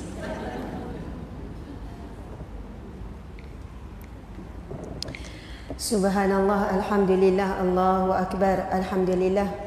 Para jemaah muslimin, muslimat dan kebanyakannya muslimatlah di sini. Uh, Subhanallah, terima kasih pada panel bersama Ustazah Laila Aniza, sahabat tercinta membawa dan membuka mata kita tentang satu sudut pandang yang berbeza. Kita pun sedar hakikatnya dalam kita rasa seronok duduk di majlis ilmu, kita rasa kita mencintai Rasulullah, di sana sebenarnya memang ramai umat Islam sendiri tak kenal siapakah Rasulullah sallallahu alaihi wasallam. Bahkan ada umat Islam kita lahir saja Islam tapi tak pernah berselawat kepada Nabi sallallahu alaihi wasallam. Tak pernah solat. Dan jauh daripada itu pula kita lihat di Malaysia ni ada pelbagai bangsa kan. Ada pelbagai agama. Kita tengok di kalangan yang non muslim mereka tak pernah tahu Allah itu adalah Tuhan mereka. Mereka tak pernah tahu bahawasanya Nabi Muhammad sallallahu alaihi wasallam adalah nabi mereka. Mereka tak pernah sebut kalimah Allah. Mereka tak pernah sebut kalimah la ilaha illallah Muhammadur Rasulullah. Bila kita ingat tentang perkara ni, kita rasa subhanallah nikmat yang sangat besar. Tak tertanding dengan apa pun nikmat yang lain iaitu bila kita dapat mengucap kalimah syahadah. Kalimah yang membezakan kita dengan mereka kalimah yang membenarkan langkah kita ke syurga Allah insya-Allah. Amin ya rabbal alamin. Dan saya percaya dalam hati kita semua ada rasa rindu untuk bertemu dengan Rasulullah sallallahu alaihi wasallam. Rasa rindu nak bertemu dengan ibunda kita Sayyidatina Khadijah. Pernah tak cuba bayang-bayang macam mana rupa Khadijah? Macam mana rupa Aisyah? Macam mana rupa Sayyidatina Fatimah? Kita terbayang-bayang tak boleh bayang betapa indahnya wajah mereka dan subhanallah barang siapa yang menjaga pandangan matanya daripada melihat yang haram di dunia ini berusaha sedaya upaya. Dan melihat yang haram ini bukan hanya bila mata melihat yang haram tetapi setiap pandangan mata yang membawa satu satu bisikan yang negatif dalam hati itu pun pandangan yang berdosa. Contoh kita pergi rumah orang kan memang tak ada yang haram kita tengok. Tapi daripada mata yang kita tak jaga melilau tu masuk je dalam kereta Bang, awak perasan tak? Rumah dia berdebu lah. Tiba-tiba kan? Daripada mata tu. Bang, awak perasan tak? Saya on the way ke dapur tu, saya nampak tu. Baju berlonggok-longgok tak basuh. Sebenarnya nak pergi ke tandas rupanya nak tengok dapur macam mana. Tandas tu ni. Tapi saya tengok dia kau datang kuliahkan main lawa. Rupanya nak mengumpat orang tu kan. Subhanallah. Sebab itu Nabi sebut. An-nazaratun, pandangan mata, sahmun, masmumatun fi min sihami iblis. Pandangan mata ini adalah panahan yang beracun daripada anak panah iblis. Faman tarakaha, barang siapa yang meninggalkan pandangan mata yang berdosa itu, yajidu ala halawatahu fi qalbihi, akan dijadikan kemanisan iman dalam hati. Masya Allah, subhanallah. Siapa yang menjaga pandangan matanya daripada perkara yang haram, insya Allah Allah akan halalkan matanya untuk melihat indahnya wajah Rasulullah sallallahu alaihi wasallam indahnya syurga Allah, indahnya wajhullah, indahnya wajah ibunda-ibunda kita. Dan barang siapa yang menjaga telinganya daripada mendengar yang haram, insya-Allah Allah akan izinkan telinga kita untuk mendengar indahnya suara Nabi Muhammad sallallahu alaihi wasallam. Dan kita mengharapkan satu pertemuan yang indah di syurga Allah. Ketika itu kita berada di majlis seumpama ini, tapi di hadapan kita ketika itu Rasulullah sallallahu alaihi wasallam. Itulah seindah-indah pertemuan. Masa tu kita boleh tengok dengan mata kita wajah Rasulullah, boleh dengar suara Rasulullah memberi nasihat atau apa-apa taujihat kepada kita. Dan itulah kerinduan yang sebenar daripada umat Nabi Muhammad. Rindukan pertemuan dengan Nabi. Sebab itu Nabi pernah sebut dalam satu hadis ini Nabi kata, Aku dengan kamu, iaitu aku dengan umatku. Aku dengan kamu, umpama seorang lelaki yang sedang menjaga unggun api ya, daripada kakatu untuk mengerumuni. Kita sekarang ni api kita tak guna. Tapi untuk beri cahaya, kita gunakan lampu. Dan ada musim tertentu, kakatu kan suka kerumun. Bila dia pergi ke pada lampu, lampu ini mengeluarkan haba, terkena pada sayap, Sayap tu sangat nipis, akhirnya sayap tu rosak, terkoyak. Dia pun menggeletek di bawah. Perasan tak ibu-ibu sekalian? Jadi akhirnya dia mati. Pun begitu, dah nampak banyak ekor dah kengkawan dia, anak saudara dia, sepupu dia mati menggeletek. Tetap juga nak pergi. Yang lain tu tetap juga kerumun. Bukan tak nampak, nampak depan mata. Rasulullah kata, aku dengan kamu wahai umatku, ibarat seorang lelaki, ini hadis yang sahih dalam kitab 40 hadis penawar hati. Aku dengan kamu ibarat seorang lelaki yang menjaga gunungan api, sedaya upaya dengan kekuatan aku dengan pengorbanan semua menghalang. Janganlah datang, janganlah datang. Api ini bahaya, api ini akan mematikan kamu. Api ini merosakkan kamu. Tetapi sekuat mana aku menghalang, kamu wahai umatku tetap masih ramai yang nak menuju kepada api tersebut. Maksudnya Nabi kata, Nabi ni berusaha upaya nak jumpa kita di syurga. Tapi ramai mana di kalangan umat Nabi Muhammad sendiri yang enggan masuk syurga. Ini dalam hadis yang lain Nabi sebut, sesungguhnya di kalangan umatku ada yang enggan masuk syurga. Sahabat bertanya, Ya Rasulullah, ada ke yang enggan masuk syurga? Nabi kata ada mereka yang tidak meninggalkan perintah Allah, yang tidak meninggalkan larangan Allah dan tidak mentaati perintah Allah. Itulah orang yang enggan masuk syurga. Allahu Akbar. Kalau tanya pasal nak masuk syurga, semua nak. Tetapi perbuatan tak menunjukkan nak syurga Allah. Akhlak tak menunjukkan nak syurga Allah. Cara bercakap tak nampak macam nak syurga Allah. Lagi banyak baca WhatsApp daripada telefon, daripada Al-Quran. Lagi banyak baca FB daripada pegang Al-Quran dan sebagainya. Kita je cakap nak syurga, tapi kita tak kuat untuk syurga Allah Subhanahu Wa Taala. Allahu akbar subhanallah hari ini kita bicarakan tentang Rasulullah sallallahu alaihi wasallam mudah-mudahan ini adalah satu bukti lah Eliza insya-Allah sebagai tanda cinta kita kepada nabi. Semua mudah-mudahan dengan itu Nabi Muhammad sallallahu alaihi wasallam di padang mahsyar kelak akan cari kita untuk beri syafaat. Amin ya rabbal alamin. Soalan Eliza tu tadi tu kan ustazah macam mana? Sebab kata-kata orang tua tu bila Eliza sebut macam tu sebenarnya ustazah pun pernah dengar. Orang kata suami ni dia ni milik kita kat rumah je. Bila dekat luar dia bukan milik kita lagi. Kalau kita tengok sunnah Rasulullah, Rasulullah setiap kali nak pergi perang, dia bawa tak isteri dia? Bawa. Nak pergi perang, bawa ikut giliran. Cabut undi. Sebab itu kita dengar bagaimana tiba giliran Aisyah, ada kisah hadis Ifki, akan cabut undi isteri mana yang akan ikut. Bila pergi satu musafir pergi mana-mana cabut undi isteri mana yang akan menemani yang akan ikut sama. Ada tugas. Setiap perang ada tugas wanita untuk berjaga-jaga di suatu tempat.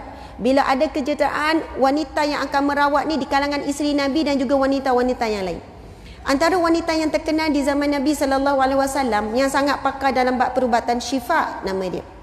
Dan Sayyidatina Aisyah radhiyallahu anha isteri Nabi dia ada tiga ilmu yang sangat dia pakar perubatan uh, ilmu hadis uh, ilmu tafsir pun ya kemudian syair-syair tapi dikatakan antara kemahiran Sayyidatina Aisyah juga adalah ilmu perubatan sebab itu bila muslimin tengah perang bila ada kecederaan ada apa-apa yang akan berikan air hantar air dalam keadaan terjagalah tak ada ikhtilat tak ada pergaulan bebas lah. subhanallah Allahu akbar sebab itu sebenarnya ada ada contohnya lah muslimin lelaki pergi ada urusan bisnes, ada urusan dakwah dan sebagainya. Ramai di luar sana subhanallah dia tahu tanggungjawab dia jaga isteri dia bukan hanya cukup dia tinggalkan isteri dengan makan cukup di rumah. Tapi bila ada ke ruang yang sesuai, dia bawa sekali isteri dia. Teman dia sebab itu lebih baik untuk agama dan untuk dirinya. Sebab apa bila melangkah di luar rumah ada banyak fitnah dan antara peranan besar seorang wanita ataupun isteri membantu menundukkan pandangan seorang suami terhadap lelaki yang lain. Faham tak maksud saya? Hari ini, muslimat hari ini, saya sebut muslimat bukan mukminat ya. Beza besar muslimat dan mukminat. Muslimat wanita Islam sangat ramai. Mukminat wanita yang beriman. Kita ni tak cukup dengan muslimat, kita nak jadi mukminat. Wanita-wanita yang beriman dia berusaha sedaya upaya untuk menundukkan pandangan suaminya terhadap wanita ajnabi. Jadi apa yang dia buat? Dia jadi isteri yang mempesonakan untuk suaminya. Dia menjadi isteri yang paling indah untuk dipandang oleh suaminya. Masya Allah. Tapi hari ini kita lihat ramai muslimat yang memakai cantik, memakai indah, menarik perhatian lelaki di luar sana. Akhirnya suami juga akan tertarik dengan wanita di luar sana. Siapa wanita yang suka menarik perhatian lelaki lain selain daripada suaminya, maka bersedialah untuk menerima keadaan yang suami juga tertarik kepada wanita yang lain. Kerana isteri ini juga tujuan dia memakai pakaian indah-indah dan sebagainya untuk lelaki yang lain. Nauzubillah min zalik. Tapi bila jadi macam tu dia tak boleh terima. Sebab itu dulu saya masa saya jadi perunding cara rumah tangga, bila isteri mengadu suami curang, suami begini, suami begini ustazah, saya dah korban macam-macam benda. Saya daripada awal kahwin sekian-sekian. Saya kata puan, kalau kita nak hitung salah orang lain, kita boleh hitung sampai ratus, sampai ribu. Akhirnya kita jadi orang yang kufur dengan nikmat Allah Subhanahu Wa Taala. Perkara pertama yang kita perlu buat bila kita diuji Allah, pertama sebelum kita hisap orang lain, hisap diri sendiri dulu. Mungkin ada kecuaian di pihak kita. Mungkin ada kekurangan kesilapan kita puan. Ha, bila kita muhasabah, sekarang ni ustazah saya nak perlu buat apa? Langkah pertama ubah diri dulu. Hasil daripada kita ubah diri, Allah akan ubah suami kita insya-Allah. Tapi selagi mana kita letak salah pada orang lain, masalah takkan selesai. Allahu Akbar, subhanallah. Jadi di sana Rasulullah tunjukkan satu contoh yang berbeza. Saya ingat satu kisah Rasulullah sallallahu alaihi wasallam ketika satu keadaan Rasul nak bangun solat di tengah malam. Nak kata hebatnya akhlak Rasulullah. Rasul kejutkan Aisyah, "Wahai Aisyah, izinkan aku untuk bertemu dengan Tuhanku." Tengah tidur ni, sebab itu saya selalu sebutkan begini pada lelaki sekalian, memang orang lelaki tak wajib minta izin nak keluar rumah. Dia boleh keluar aja. Tak wajib, tapi seorang isteri wajib minta izin dengan suami untuk keluar daripada rumahnya. Ada orang rasa tak puas hati. Kenapa pula orang lelaki boleh keluar aja macam tu? Orang perempuan kena minta izin? Saya tanya balik, kalau apa-apa berlaku lah kan, Hajah duduk shopping beli beg, tiba-tiba seronok bawa beg baru ni, kat eskalator tu tergelupuk, jatuh ke apa kan tergelincir. Polis akan call siapa dulu? Akan telefon mak ayah kita ke? Dia akan cari siapa suami itu yang paling dekat. Bila kita melangkah keluar daripada rumah, dalam rumah atau keluar rumah, orang yang sentiasa bertanggungjawab di atas wanita, isteri adalah suami. Sampai ke hospital, ke doktor akan cari siapa suami dia akan dihubungi. Sebab itu kan terkejut, kita minta suami datang kuliah masjid apa ni ya? Kelana Jaya. Tiba-tiba ada telefon panggil dekat shopping komplek lah pula. Rupanya on the way balik singgah shopping komplek dulu. Sebab itu wanita yang soleha walaupun dia minta izin nak keluar pergi masjid ini, dia akan terus balik ke rumah dia tak singgah. Kalaupun ada keperluan nak singgah, dia call dulu bang saya nak singgah sini dulu. Sebab yang dia tahu kita datang ni untuk pergi ke mana, keluar untuk ke mana. Tiba-tiba apa-apa berlaku, tahu-tahu dulu tempat lain. Subhanallah Allahu Akbar Bukan mudah nak jadi mukminat Wanita yang beriman Muslimat memanglah wanita Islam Rasulullah minta izin dengan Aisyah Wahai Aisyah izinkan aku untuk bangun bertemu Tuhanku Nak bangun kiamulai Nak tinggalkan isteri di pembaringan Minta izin bagi tahu Tetapi lelaki hari ini Dia main keluar aja. Isteri dah hidang, sono, apa semua Tiba-tiba dah hilang eh suami ni Bang awak kat mana? Kawan panggil Allahu Akbar Ni yang rasa nak senduk kepala suami ni Asalnya nak senduk lauk. Ha. Sebab itu saya kata subhanallah seorang lelaki yang tak minta izin dengan suaminya tetapi dia minta izin dengan suaminya nak keluar atau urusan apa pun ini mencontohi akhlak Nabi sallallahu alaihi wasallam. Nabi bukan nak bangun pergi mengetek, bukan nak pergi keluar lepak dengan kawan, minta izin sebab nak qiyamul lail, nak tinggalkan isi di pembaringan. Sangat mulia akhlak Nabi sallallahu alaihi wasallam. Allahu akbar. Jadi bila istilah tu katakan suami ni milik isteri di rumah saja di luar bukan milik milik isteri subhanallah. Ikatan akad nikah itu bukan bermusim, bukan berwaktu. Bila seorang suami keluar daripada rumah dia perlu jaga maruah dirinya. Dia perlu jaga aib dirinya. Dia perlu jaga batasan-batasannya. Sebab itu orang tanya Ustazah macam mana saya risaulah suami saya kat luar entah apa dia buat. Kadang tu bila dekat pejabat saya telefon dia banyak kali Ustazah. Assalamualaikum. Awak buat apa? Oh tengah kerja. Kerja kat mana? Kat pejabat lah. Suami dah nak marah ni. Boleh buat video call tak? Nak tengok siapa kat depan awak? Oh buat video call.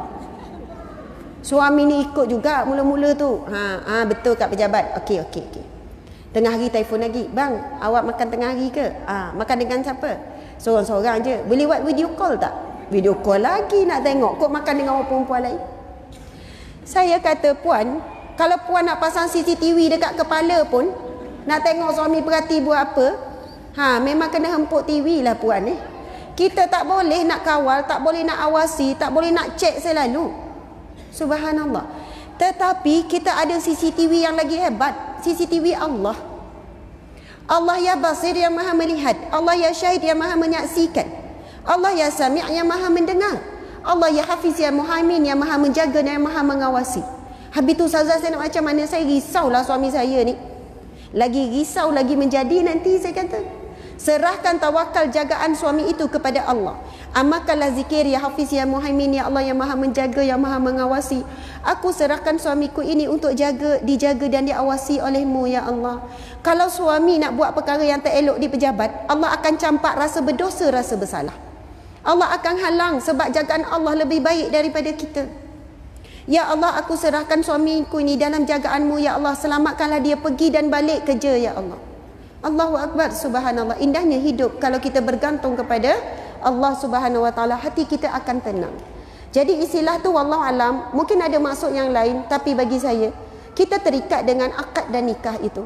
Itu satu ikatan Rasulullah sebut sesungguhnya ijab kabul itu bukan sumpah kamu sesama manusia tetapi itu sumpah kamu dengan Allah. Bila akad nikah berlaku, ijab kabul berlaku, kita sedang memegang amanah daripada Allah. Suami jaga dirinya di luar, isteri menjaga dirinya di rumah, isteri keluar jaga dirinya. Suami isteri yang salihah ini akan kekal menjadi suami isteri sampai syurga Allah Subhanahu wa taala. Amin ya rabbal alamin. Okey, untuk jawab soalan seterusnya minta maaf jadi panjang je bila gelar, eh, bila tanya saya minta maaf ustazah. Ustazah nanti ustazah Laila pun lajak juga ya. saya nak cerita beberapa kisah saja menunjukkan uh, sifat Rasulullah yang perempuan boleh tiru. Sayyidatina Aisyah pernah cerita ketika itu dia sedang haid. Jadi bila dia haid, dia tak boleh nak masuk masjid. Tapi punya Rasulullah ini sangat romantik dan menunjukkan ini adalah perangai suami isteri ini iaitu Rasulullah hulurkan kepala daripada masjid kan rumah Sayyidatina uh, isteri si Nabi kan ada sekeliling hulurkan kepala untuk disikat oleh Aisyah. Masya Allah, sweet sangat kan? Maksudnya duduk dalam masjid, hulurkan kepala, Aisyah pun minyakkan kepala Rasulullah dan sikat-sikat. Sebab Aisyah Hello. Hello. Halo. Ha. Itu kalau ada rambut. Oh, oh. Kalau yang botak kan? Dia macam upin ipin je. Ha. Sebenarnya je macam mana? Masya Allah. Itu satu-satu rambut yang dia ada. Comel je soalan Eliza ni kan. Ha. Nak hulu apa? InsyaAllah kita doakan Allah ya jami, Allah ya jami, Allah ya jami, ya Allah yang maha menemukan. Temukanlah Haliza dengan suami yang saleh. Amin ya rabbal alamin. Penting. Ha, ya betul. Boleh pakai kopiah, pakai serban. Tak apa kalau dia hulu kat kepala tak kita. Ah kita ni juga. Kita gosok-gosok, kita shampoo. Yang tak ada rambut pakailah minyak untuk tumbuh rambut. Subhanallah, Allahu akbar, masya-Allah. Jadi nak ceritanya, Aisyah pernah bercerita kepada sahabat Nabi yang lain, di antara rutinku dengan Rasulullah saling meminyaki rambut. Ibu-ibu sekalian, pernah buat tak dalam rumah tangga kita seumur hidup, kita minyakkan rambut dan sikat rambut suami. Balik ni panggil, meh sini bang. Letak minyak rambut, sikat. Ha, mungkin kalau kita buatlah hari ni kan, suami kita pun akan mesej anak-anak, balik cepat ujung minggu ni. Mak kau dah ada tanda-tanda dah. Sebab buang terbiak tak biasa buat kan. Tapi kita nampak macam benda tu remeh. Hmm. Ada orang kata sebab dia tak tahu itu sunnah Nabi. Sunnah Nabi ni bila buat rahmat Allah turun dalam rumah tangga. Keluar penyakit daripada rumah kita. Jin ke syaitan ke mungkin binatang bermisa pun boleh keluar. Sebab kita menghidupkan Rasulullah dalam rumah kita. Seolahnya Rasul hidup bersama dengan kita. Seolahnya begitu. Masya Allah. Minyakkan rambut. Lepas tu suami pula minyakkan rambut kita. Ui. Berdebar tak? Risau tu ada yang tak. Mungkin dah biasa. Kena buatlah hari ni. Kena buat ibu-ibu sekalian. Masya Allah. Okey, lepas tu yang kedua. Rasulullah pernah sebut kepada Fatimah. Ah, pernah nasihat Fatimah, anak andanya. Supaya saling meminyaki. Rasulullah kata seorang wanita itu apabila dia meminyaki rambut suaminya. Lepas tu menyikat rambut suaminya. Soalahnya berkhidmat. Ni mengusap-ngusap. Menyentuh badan suami untuk buat khidmat dan sebagainya. Rasulullah kata maka syurgalah bagi isteri tersebut. Ha, seterusnya. Minyak kat rambut juga kat misai ke kat jangkut ke kat kening taklah banyak boleh ke tempat-tempat yang lain. Dapat pada sunnah ke? Subhanallah. Ya, saya kan ada seorang uh, sahabat saya ni dia kata isi uh, ni. Sejak dia nikah, suami dia tak pernah pergi kedai kedai mana kita panggil kedai, uh, kedai gunting, barber. Sebab dia kata sejak nikah sampai dah belas tahun, memang dialah yang potong rambut suami dia. Dan dialah yang trim uh, janggut, uh, misai suami dia tak ada tapi janggut. Dan dia kata suami dia memang dia tak akan pergi selagi maksudnya tak akan pergi barber ke dia dah tak buat sendiri memang isteri dia dah buat rutin sebulan tu mungkin sekali ke dua kali sebab tu saya tengok oh kemas je rambut semua misal ini bukan orang jauh daripada saya lah ahli keluarga yang terdekat. Saya kata ya Allah bagusnya dia merapikan suaminya sampai begitu sekali. Masya Allah kita nampak benda tu simple tapi itu adalah sunnah Nabi SAW Okey, jadi yang tu kita boleh ikutkan sunnah tu. Lepas tu yang kedua, Nabi SAW, Aisyah cerita, setiap petang mesti akan singgah di semua rumah isteri Nabi, bukan untuk apa, untuk tanya khabar saja. Assalamualaikum, apa khabar, macam mana hari ni dah? Sudah, salam, pergi rumah isteri lain pula. Nak cakapnya tanya khabar ini, walaupun kita dah tahu memang dia sehat, itu adalah sunnah Nabi. Kan kita tahu suami kita sehat, hari ni memang tak ada buat apa-apa, hari ni okey. Tapi duduk balik rumah, bang awak macam mana, apa khabar? Kan saja-saja tanya. WhatsApp. WhatsApp. Duduk sebelah tanya. Masya. Allah Akbar. Betul. Sebenarnya memang dahsyat. Sebenarnya orang perempuan memang suka kan? Kalau suami balik, awak apa khabar hari ni? Okey tak kat rumah? Seronok kita. Itu adalah akhlak Nabi sallallahu alaihi wasallam. Cinta kalau kerana Allah ikut syariat, nikmatnya sangat hebat. Kita berpisah tempat kerja dengan suami. Saya nak tanya ibu-ibu sekalian rindu tak dekat suami ni? Duduk sini ni. Oh ada yang dah rindu ha. Baru dua jam berpisah hari. Baru tiga jam. Masya Allah. Saya cakap betul. Saya selalu cakap pada anak muda. Kalau kamu nak bercinta, kamu kena sekat ikut syariat supaya cinta kamu lepas nikah halal dan Allah bagi kekal lama rasa indah berpisah sekejap di tempat kerja dah rasa rindu. Bang, rindulah. Suami pun balas. Saya pun rindu juga walaupun sebenarnya dia tak rindu. Tapi balas balik untuk membuat-buatkan rasa itu sebab menggembirakan hati orang lain itu juga adalah sunnah Nabi sallallahu alaihi wasallam. Dan beberapa penutup sikit je. Subhanallah, Nabi suka tanya khabar. Tanya khabar itu sunnah Nabi. Walaupun simple dan balas Alhamdulillah saya baik sebab itu dikira juga satu doa. Nabi suka borak. Masya Allah. Yang ni Nabi Aisyah cerita sebelum sementara tunggu subuh kalau aku bangun awal Aisyah kata Nabi akan suka berbual-bual. Hari ini masalah utama kita telefon. Sebab apa kita lebih banyak borak. Dah letih dah borak ke WhatsApp. Kita dah tak ada perasaan nak borak dengan orang sebelah. Kami mana hari ini suami isi tak kira orang muda ke orang tua ke. Kan kecil hati sebut orang tua. Orang kurang muda. Ha. Masing-masing tengok telefon atas katil sebelum tidur, sedar-sedar dah berkeruh dah orang tua sebelah. Tak ada borak, tak ada apa, subhanallah. Sebab itu antara kaedah psikologi yang saya dengar ada ceramah adalah seorang uh, ni dia kata suami isteri sebenarnya kena haramkan telefon ni masuk dalam bilik tidur. Kalau kita bawa masuk dalam bilik tidur telefon ni seolahnya kita bawa masuk ramai orang dalam bilik tidur. Ha. Kawan-kawan tu semua masuk, yang FB tu semua masuk. Lagi kalau suami duduk sebelah dia pula duduk bala mesej orang komen kebetulan orang lelaki lain duduk komen dia pun terima kasih atas doa. Duduk borak dengan lelaki lain suami duduk sebelah. Dia kata patutnya telefon tak boleh bawa masuk. Nak tidur malam tu masuk bilik tu telefon letak kat luar barulah bercakap suami isteri ni Kalau tak masing-masing duk sibuk ni ni bang kerja pada urusan ni ha kuih talam ni nak buat keputusan nak berapa talam esok ni. Masa tu lah nak selesai macam-macam lah nak warna baju tema nak pergi jalan sana sini lah. Ha. Subhanallah, perasan tak? Kerana telefon, masalah komunikasi sangat dahsyat hari ini di antara suami dan isteri. Kurang berbincang, kurang bertanya khabar, segala-galanya lah na'udzubillah min zalik subhanallah dan Rasulullah adalah pendengar yang terbaik. Itu saya akan cerita next.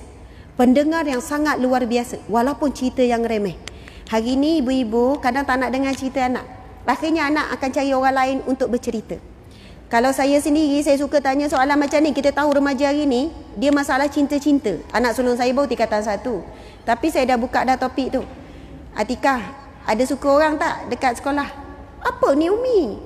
Dia nampak kita mula cerita pasal tu, mula dia tak ngaku. Dah lama dia buka cerita balik. Umi sebenarnya kan gini-gini. Bukan Atika suka orang Tapi Atika rasa orang tu dia suka Atika lah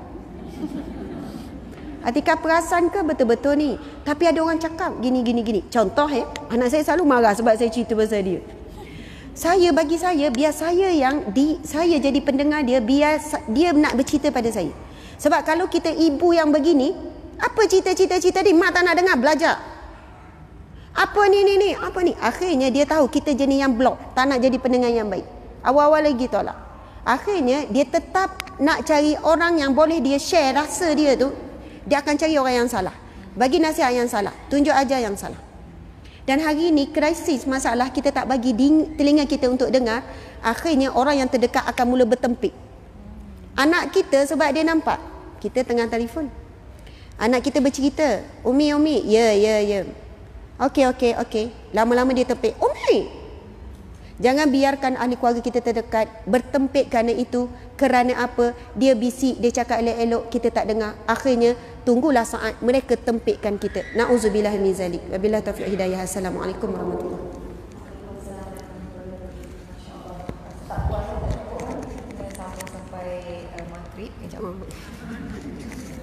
Dia uh, soalan uh, moderator sekejap tapi kena pakai juga. Okey.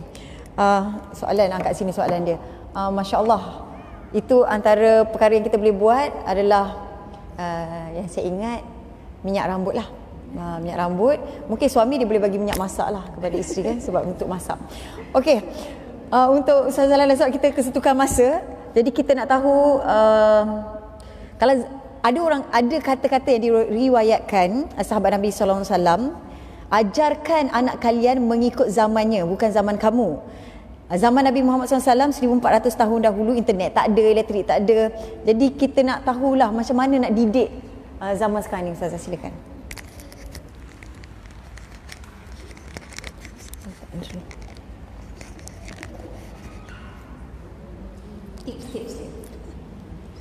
A'udzu billahi minasyaitonir rajim. Bismillahirrahmanirrahim. Alhamdulillah subhanallah. Dah hangat dah kan perbincangan boleh balik dah ni. Sebab Ustazah Asma dah bagi semua dah. Subhanallah. Masya Allah. Amalkan, amalkan. Baik.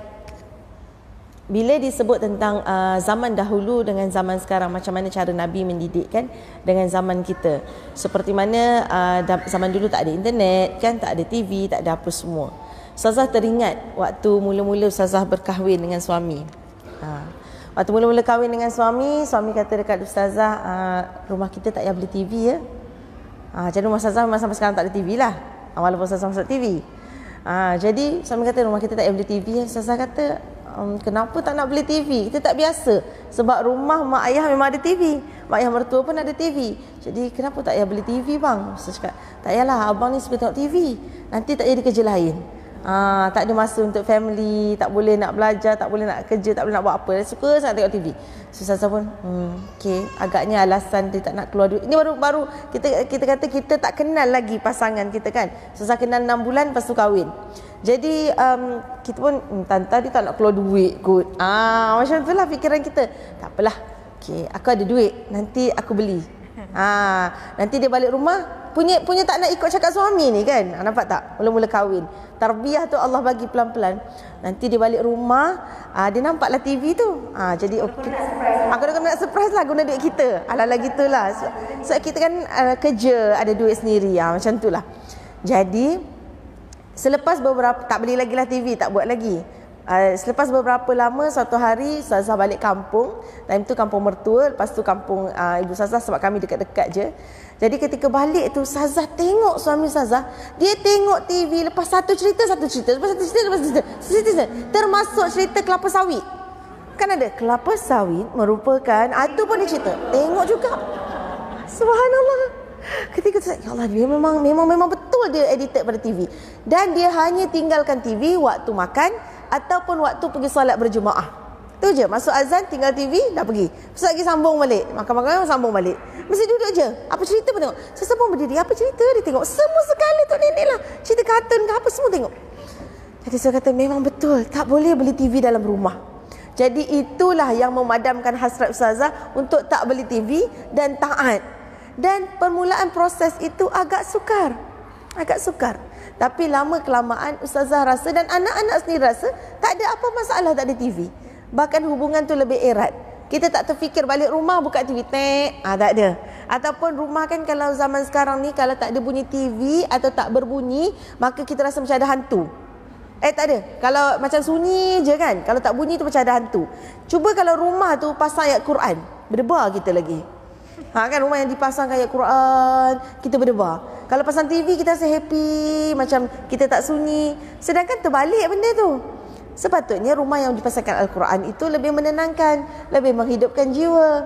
Kan? Ha, tapi sebab mentaliti kita kena dengan TV. Dan satu hari Ustazah pergi satu program yang mana Ustazah live waktu tu live di uh, live dekat TV. Kami nak bersiaran lebih kurang mungkin 5 minit lagi.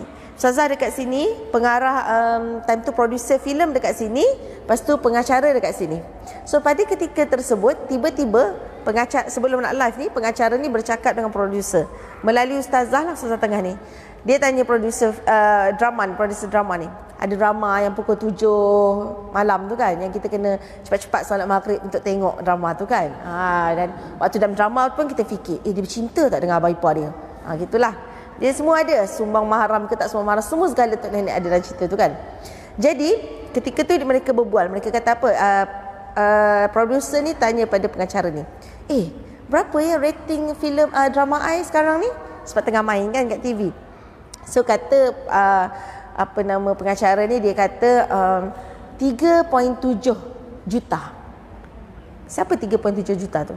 3.7 juta penonton yang menonton ketika itu waktu maghrib. Okey, kemudian oh iya ke? Minggu uh, tu minggu lepas. Minggu ni minggu ni minggu ni 4.2. Wow, bestnya. Alhamdulillah. Alhamdulillah. Ingat kan perkataan tersebut. Alhamdulillah yang tidak memberi kesan kepada darah daging dan iman kita. Alhamdulillah sekadar ucapan tetapi dia tidak membawa pada taat. Kemudian dia kata apa? Eh, you tengok tak yang part uh, perempuan tu, yang yang pelakon muda tu, yang dia peluk-peluk tu? Eh, tengok-tengok tak macam gedik kan? Yes, tak macam gedik. Yes, kita nak buat nampak real. Supaya bila penonton tengok, tak nampak menyampah. Rasa best je. Rasa, yelah betul. I pun suka lah watak dia. Yes, betul. Ramai netizen kata suka sangat. Sazah kat tengah. Apa kita nak buat Eliza? Bagaimanakah mimik muka kita? Nak senyum? Nak astagfirullah, astagfirullah, astagfirullah. Tengah ada perbicaraan mungkar ni depan kita betul-betul ni. Allah Akbar. Oh, alim sungguh Ustazah ya. Ustazah sangat sedih ketika itu. Dan ketika itu Ustazah merasakan ya Allah besarnya amanah dan merasakan bahawa inilah yang umat disajikan. Perempuan nak membentuk keluarga bahagia apa aktiviti santai kita dalam rumah? Antaranya lepas kita makan sembang-sembang sikit kita akan duduk santai suami isteri depan TV mungkin pada setengah orang benda ni rasa macam eh Ustazah benda ni remeh kot bukan dosa besar. Tapi inilah rahsia antara perkara yang menyebabkan perpecahan hati dan perpecahan rumah tangga siapa nak ikut apa Ustazah pesan ikut siapa tak nak terpulang masing-masing tapi Ustazah menyampaikan kerana Allah sebab apa? Sebabnya kita akan duduk suami isteri berderet-deret ni ramai-ramai ni dengan anak-anak kecil kita tak kira usia dengan baby sekali disajikan dengan drama-drama yang tidak bawa manfaat dengan buka aurat dengan seksinya dan suami tengok kelip-kelip eh, memang tak berkelip lah selalu tengok kan sambil peluk isteri. Kita rasa suami peluk tu sebab suami sayang dan romantik sedangkan dia sedang bermaksiat. Dan kita pun tengok laki lain dalam tu. Pada ketika tu tak kisahlah umur kita 50, 60 pun tengok, Ya Allah handsome. 50-60 pun gitu. Betul tak cik? Betul lah cik. Allahu Akbar. Betul. Sebab itu fitrah. Kan? Itu fitrah. Bahkan ada acik-acik yang dah terlantau umur 80 pun tengok anak bujang. Eh lawannya. Betul. Ha. Subhanallah. Apa Ustazah nak kata dekat sini bahawa kita bermaksiat dalam rumah sendiri, suami tidak jaga pandangan seperti mana Ustazah Asma sebutkan tadi. Ya dan juga kita sendiri tak jaga pandangan dengan angan-angan kita. Apa kita angan-angan? Kita tak kisahlah umur berapa tapi kita mempunyai angan-angan. Wanita dia suka berangan-angan. Apa angan-angan dia bila dia tengok seorang lelaki lain dan pada ketika kita contohlah dalam cerita tu, lelaki tu kereta besar, lelaki tu bagi bunga kat isteri dia ke kat girlfriend dia ke apa, dia pun kata, "Ya seronoknya kalau suami aku macam ni." Apa yang sedang dia doakan ketika itu ibu-ibu tanpa kita sedar? Seronoknya kalau lelaki aku pun buat maksiat macam ni. Sebab yang dalam cerita tu orang lain, lelaki lain dan perempuan lain. Tak ada kaitan, tak ada ikatan pun sebenarnya. Kita mendoakan tanpa batasan doa kita. Yang mana yang boleh didoakan, yang mana tak boleh didoakan. Yang mana angan-angan yang sepatutnya, yang mana angan-angan tak sepatutnya. Tanpa kita sedar, Allah maha mendengar. Dan Allah zahirkan tiba-tiba tak berapa lama hubungan perkahwinan kita, tiba-tiba berlaku sesuatu. Kita mencari punca. Kat mana? Apa masalah? Aku dah jadi isteri yang terbaik dah. Siap makan minum daripada hujung rambut sampai hujung kaki. Ada seorang isteri ni, dia benar-benar suami dia keluar daripada bilik air, suami dia duduk di atas katil, duduk bucu katil, dia pakaikan seluar puan-puan sampai spender semua dipakai, sampai baju, sampai betul dia hias semua tubuh suami dia. Duduk je gitu. So saya tanya kenapa sampai macam tu? Sebab kesian dia nak jalan pun tak larat. Jadi biarlah akak yang buat. So saya terfikir, ya Allah aku tak sampai level bagi pakai baju seluar spender segala. Tak solehah sungguh. Dan kemudian suami dia zalimi dia. Suami dia tinggal gitu je. Bercerai tidak, apa pun tidak. Saya nak katakan, jangan berlebih-lebihan dalam menguruskan suami. Jangan berlebih-lebihan, tapi menjaga hak-hak Allah ini lebih penting. Kita urus terlebih-lebih sehingga kita penat. Penat lepas tu kita komplain. Lepas tu muka kita masam. Tak nak masak, jangan masak. Pesan saya pada semua ibu-ibu. Tak nak masak, jangan masak. Suami yang faham agama dia tak bebankan isteri kenapa tak nak masak. Nabi sallallahu alaihi wasallam pulang ke rumah balik tengok tak ada makanan tanya pada Aisyah tak ada makanan Nabi kata apa? Nabi kata tak apa aku puasa hari ini. Sebab berlapang dadanya Nabi sallallahu alaihi wasallam dan bukan tugas isteri untuk memasak. Sebenar-benarnya hakikatnya tapi disebabkan ihsannya isteri itu maka isteri memasak. Allah beri ihsan. Bahkan dalam kitab disebutkan kalau isteri itu menyusu seorang ibu menyusu, isteri itu berhak untuk mendapat upah atas setiap titik susunya. Ha, tapi berapa banyak dah kaya ni kalau nak ikut kaya ni? Ha, orang ramai anak ada. Ha. Tapi disebabkan ihsan kita, maka kita tak minta hak tersebut. Kalau nak minta hak itu suami tak boleh kata no shoes. Pergilah mahkamah. Tanyalah. Ada satu kes ni, seorang wanita ni dia uh, suaminya peguam juga. Dia seorang wanita ni dia dia tak nak dia tak nak dia tak masak, dia tak buat kerja rumah apa semua segala. Pergi pergi ke mahkamah. Suaminya kata isteri nusyus, claim nusyus. Tapi tak boleh jatuh talak disebabkan nusyus. Sebab itu bukan dalam bidang skop tugas isteri. Apa Ustazah nak bagi tahu? Hari ini suami kena pandai mendidik isteri supaya isteri hormat dan sayang pada suami. Isteri kena berlemah lembut dan menjaga tutur katanya, menjaga pandangan matanya supaya dia juga taat pada suami. Masalahnya sekarang kita hari ini, isteri bila dia buat semua-semua kerja rumah, dia jerit-jerit pada suami. Dia tengking-tengking suami. Jadi kat mana kita dapat pahala? Yang nombor satu ditanya oleh Allah bagaimana kita melayani suami kita bukan dari segi makan minum yang kita sediakan tu bukan dari segi mimik muka kita, dari segi adanya kita di sisi suami, dari segi lembutnya kata-kata kita. Ustazah, Ustazah belajar satu perkara daripada sifat suami Ustazah. Mudah-mudahan Allah tambahkan kebaikan padanya. Amin ya Rabbal Alamin.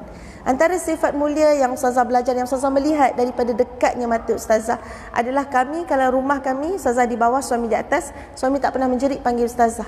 Dia mesti turun sampai depan Ustazah panggil Ustazah. Jadi lama mula-mula Sasa nak jerit jugalah bang turun makan. Ha gitu kan. Tapi disebabkan suami buat begitu, kita rasa malu. Maka kita pun sanggup panjat bila nak panggil dia makan. Ha, dan panjat tu tak memenatkan. Itu satu. Yang kedua antara sifat mulia suami ustazah adalah daripada mula kahwin sampai sekarang dia buka pintu kereta untuk ustazah. Dia buka pintu kereta untuk ustazah dan ustazah malu. Malu sebab dia bukakan pintu kereta. Lalu ustazah fikir, apa aku nak buat eh, bila dia buka pintu kereta? Jadi ustazah pun buka pintu kereta dia balik. Eh tak payah, tak payah, tak payah. Duduk, duduk, duduk, duduk. Naik, naik, naik kereta. Rupanya bukan balasan tu yang dia nak. Saya ustazah tanya, kenapa abang mesti buka pintu kereta untuk sayang? Tanya dia. So dia kata, buka sebab memang tu abang rasa abang nak buat untuk isteri abang. Jadi ustazah ingat bagaimana Nabi sallallahu alaihi wasallam pada zaman jahiliah, pada zaman Nabi sallallahu alaihi wasallam ketika itu orang-orang Arab ini bila dia bila dia tolong wanita ataupun isteri naik unta nak pergi mana-mana, nak bermusafir ke apa bila dia tolong naik tu, maka dia tu dikira tak macho. Sebab wanita ketika itu menjadi hamba. Wanita ni simbol seks sahaja. Wanita ini boleh dijual beli. Ni isteri siapa dalam rumah. Tiba-tiba kawan dia datang. Jat, ni apa nama nak, nak isteri kamu? Boleh pergi ikut je lelaki tu. Dan wanita pada zaman dahulu, bila mana kita dah kahwin dengan seorang lelaki, dia boleh pergi tidur dengan lelaki-lelaki lain sampai dia mengandung, melahirkan tengok muka ni muka anak mana. Muka pahlawan mana ke, muka panglima mana ke, muka orang kaya mana ke, hartawan mana ke. Lepas tu dinasabkan kepada orang tersebut. Wanita kita semua tidak ada nilai melainkan bila mana Islam datang. Allah memuliakan kita subhanallah untung jadi wanita Islam. Yang Allah jaga aurat kita orang tak boleh tengok gitu-gitu suka-suka hati. Istimewanya. Susah masuk Habib jual tu. Ha, Ni cerita zaman sekarang ni. Habib jual tu Kan ada banyak Belian-belian Cincin-cincin gitu kan. So tengok Ni boleh pegang Ni boleh pegang Ni boleh cuba. Kata puan puan. Panggil gitu. Puan puan Kenapa kenapa Masuk sini pun masuk sini. Ada satu bilik khas. Bilik belakang ni apa pun tak boleh teng- pegang. Tengok je. Tengok sahaja. Pegang tak boleh. Tengok tu pun bertutup. Nak baru tunjuk. Yang ni boleh apa? Ni 500 ribu satu belian. Belum buat cincin, belum buat apa. Oh, okey, okey, okey. Mudah-mudahan dapatlah. Tak dapatlah lagi. Tapi nak cerita kan macam tu dijaga. Belian batu. Kita manusia yang ada akal, yang ada sifat yang Allah katakan sebaik-baik kejadian adalah kita. Takkan tak boleh jaga diri kita? Jadi semulia-mulianya kita Allah letakkan dalam kedudukan tersebut.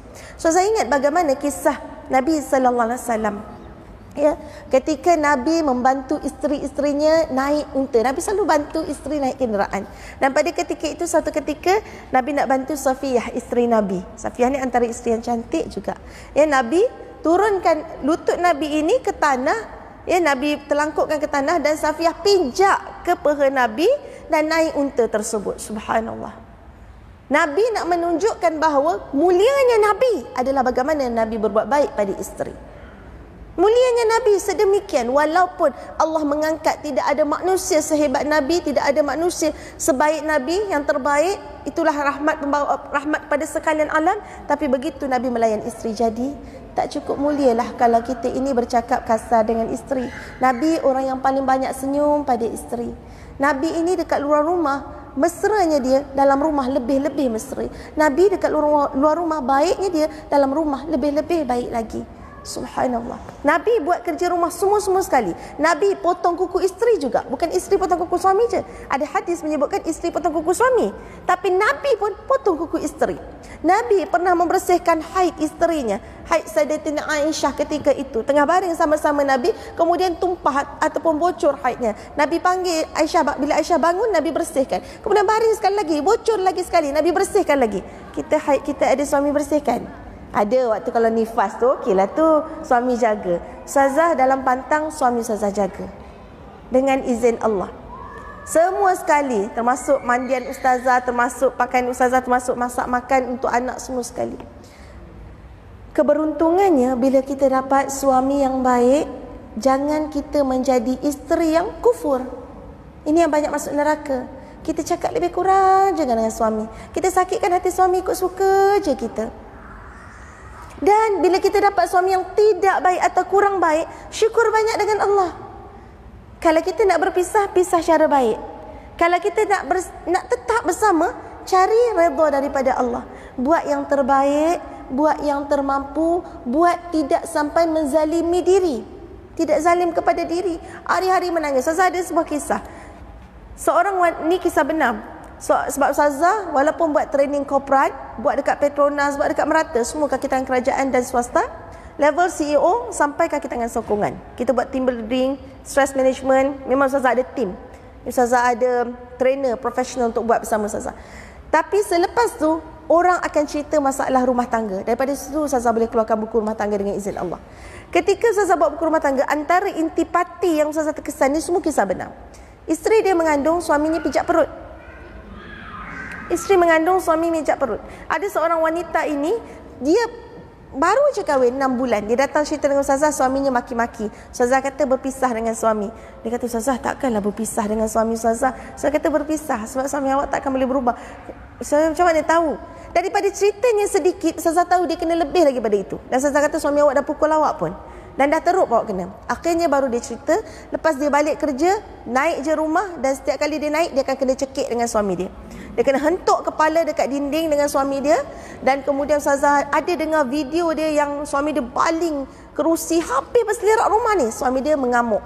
Apa salah dia? Salah dia kalau contohnya tegur, Bang, abang tak baca bismillah. Nak makan itu je. Sesimpel itu saja. Dan kerja dia selepas dah kena pukul, malam tu dia kelari pergi rumah kakak. Esok dia balik rumah ambil baju siap-siap pergi kerja. Lepas tu dia uh, balik kerja kena pukul lagi gaduh semua. Malam lah dia pergi rumah kakak. Esok kena lagi semua. Tiap hari rutin dia sedemikian. Sehinggalah dia mengandung. Pada ketika itu suami dia kata aku tak nak anak ni perangai macam mak dia. Engkau lah. Perempuan tak guna. Semua perkataan buruk dia keluarkan pada isteri. Ada sebuah kisah ini seorang wanita umur dia 60-an. Dia datang jumpa ustazah. Pada ketika dia tu karakter elok je. Smart je pakaian dia kemas. Tapi bila ustazah sembang sikit dengan dia ustazah rasa dia ada sesuatu yang tak kena. Walaupun dia tak sebut perkataan tak kena. Akhirnya bila sembang-sembang rupa-rupanya dia zaman muda. Dulu-dulu dulu berpuluh tahun dulu. Gaji dia ribu, gaji suami seribu. kemudian suami kata berhenti kerja. Ah, ini pun jaga-jaga. Kita taat pada suami nak bahagia dan sebagainya pastikan suami boleh tanggung keperluan kita. Mungkin selama ni kita kena tanggung mak ayah kita yang sakit Mungkin ada keperluan hutang kita yang wajib kita bayar. Tapi tak boleh dilepas tangan begitu. Ini perlu didahului kan. Kalau suami tak mampu dan sekadar taat begitu, maka yang berdosanya kedua-duanya. Dan yang akan bermasalah kebanyakannya wanita. Tambah suami tidak takut kepada Allah. Sikit lagi Elisa ya. Okey. Dan kemudian wanita ini gajinya RM5,000, suaminya RM1,000, maka dia, uh, dia suami dia kata berhenti kerja dia tak makanlah dalam seribu tu. Dia pun taat pada suami maka dia berhenti kerja makan dalam seribu tersebut. Tetapi yang menjadi musibah pada hidupnya adalah suaminya tiap-tiap hari maki hamun dia. Dengan pelbagai kata-kata tapi tak pukul dia. Sehinggalah suatu dia menangislah setiap hari dia menangis. Dan suami dia putuskan hubungan. Mak ayah tak boleh telefon ah, time tu tak boleh telefon tak boleh hantar surat tak boleh kunjung tak boleh kunjung mengunjungi tak boleh. Adik-beradik jangan berhubung kawan jangan berhubung. Dan dia taat Taat membabi buta, taat tidak kena pada keadaan merosakkan diri. Taat mesti berpusat kepada Allah. Betul tak taat ini bawa redha Allah? Bukan taat yang zalim. Maka pada ketika itu dia pun putus hubungan. Adik-beradik apa semua tak berhubung. Dia nangis setiap hari. Sehinggalah suatu hari dia dah tak nangis dah. Anak lima orang. Tak nangis, tak nangis. Sampai satu hari dia bangun pagi.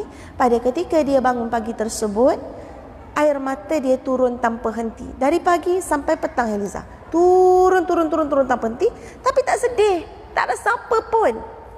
Maka dia pergi petang tu jumpa doktor. Doktor terus sign surat. Masuk hospital sakit jiwa 4 hari. Rupanya dah mental. Terlalu depression sehingga otak tak boleh kontrol apa yang keluar pada tubuhnya. Ini kisah benar dia cerita kat Ustazah. Dan anak last dia Down syndrome. Bukan nak kata Down syndrome ni sebab mak depression kita tengok anak Down ni mesti mak depression. Tak, Ustaz maksudkan begitu.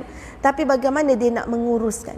Dan akhirnya bagaimana Ustazah confirmkan yang dia ni memang bermasalah kerana last ayat dia setelah lama kita sembang, last ayat dia, itulah Ustazah, saya zaman muda, waktu saya nak uh, pergi bercerai dengan suami, tak bercerai lah sampai sekarang tak bercerai.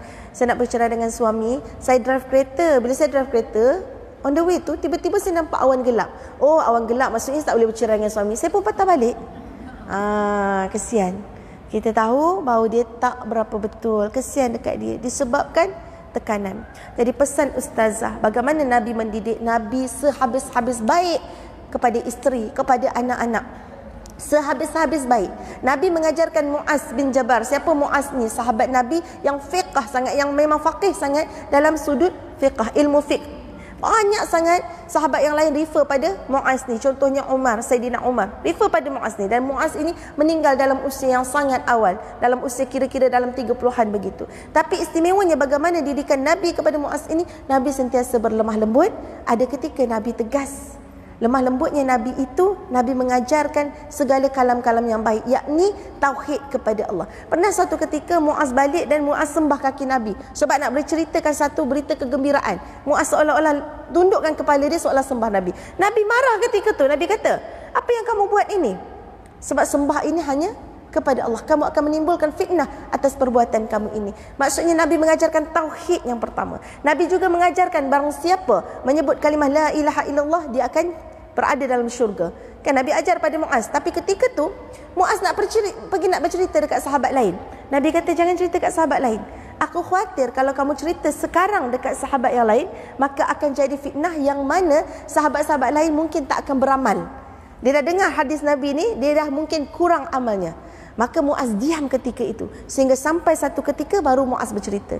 Apa nak disebutkan adalah didikan Nabi ini, bila kita nak tegur anak, kena sesuai dengan keadaan.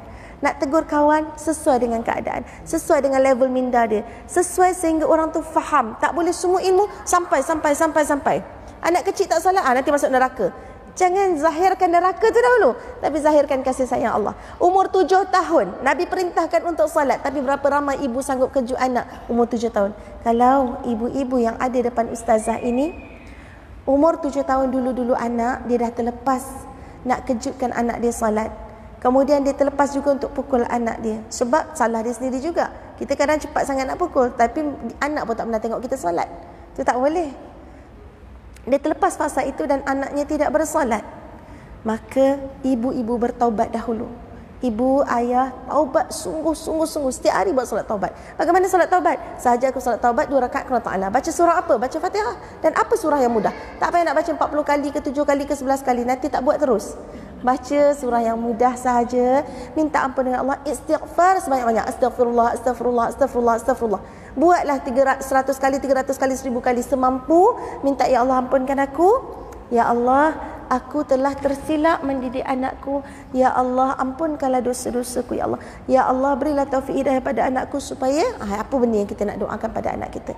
Permulaan minta uh, tu solat taubat. Yang kedua minta maaf dengan anak. Memang perlu ada perbuatan bersama dengan anak sentuh anak dan minta maaf. Mak minta maaf kamu tak solat sekarang ni sebab silap mak. Mak yang bersalah pada waktu mak muda mak salah didik. Tapi masalah kita ibu dan ayah sangat ego untuk minta maaf dengan anak. Sedangkan ada hak anak yang di akhirat kelak Allah akan tuntut. Bukan dosa kita dengan Allah je ibu-ibu. Ustazah bagi tahu satu formula paling penting adalah membersihkan hati dengan minta maaf apa juga kesilapan yang kita rasa selama ni memang betul kita ada buat tapi tak nak admit. Jadi mulai hari ini gunakan formula ini untuk kita memperbaiki. Kita adun bagaimana didikan Nabi dengan didikan kita zaman sekarang. Allahu a'lam bissawab. Terima kasih Ustazah.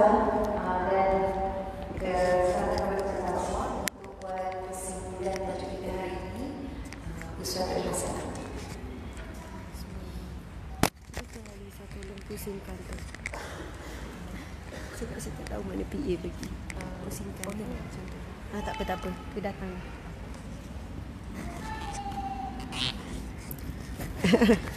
Subhanallah. Itulah. Alhamdulillah. Terima kasih Ustazah Antika. Masya Allah. Subhanallah. Alhamdulillah. Sebagai kesimpulannya, kita pun sebenarnya dah lebih daripada waktu. Sepatutnya kita habis yang sebelas setengah kan. Jadi kesimpulan ni tak lama ibu-ibu sekalian. Boleh percaya tak? Percayalah ya untuk kali ini. Subhanallah alhamdulillah. Uh, firman Allah Subhanahu wa taala. Qul in kuntum tuhibbunallah fattabi'uni yuhibbukumullah. Saya ulang sekali lagi. Ayat ni sangat sangat indah. Qul in kuntum tuhibbunallah fattabi'uni yuhibbukumullah. Katakanlah qul sekiranya kamu mencintai Allah fattabi'uni maka ikutilah aku. Maksudnya Allah menyuruh Nabi Muhammad sebut katakanlah wahai Muhammad kepada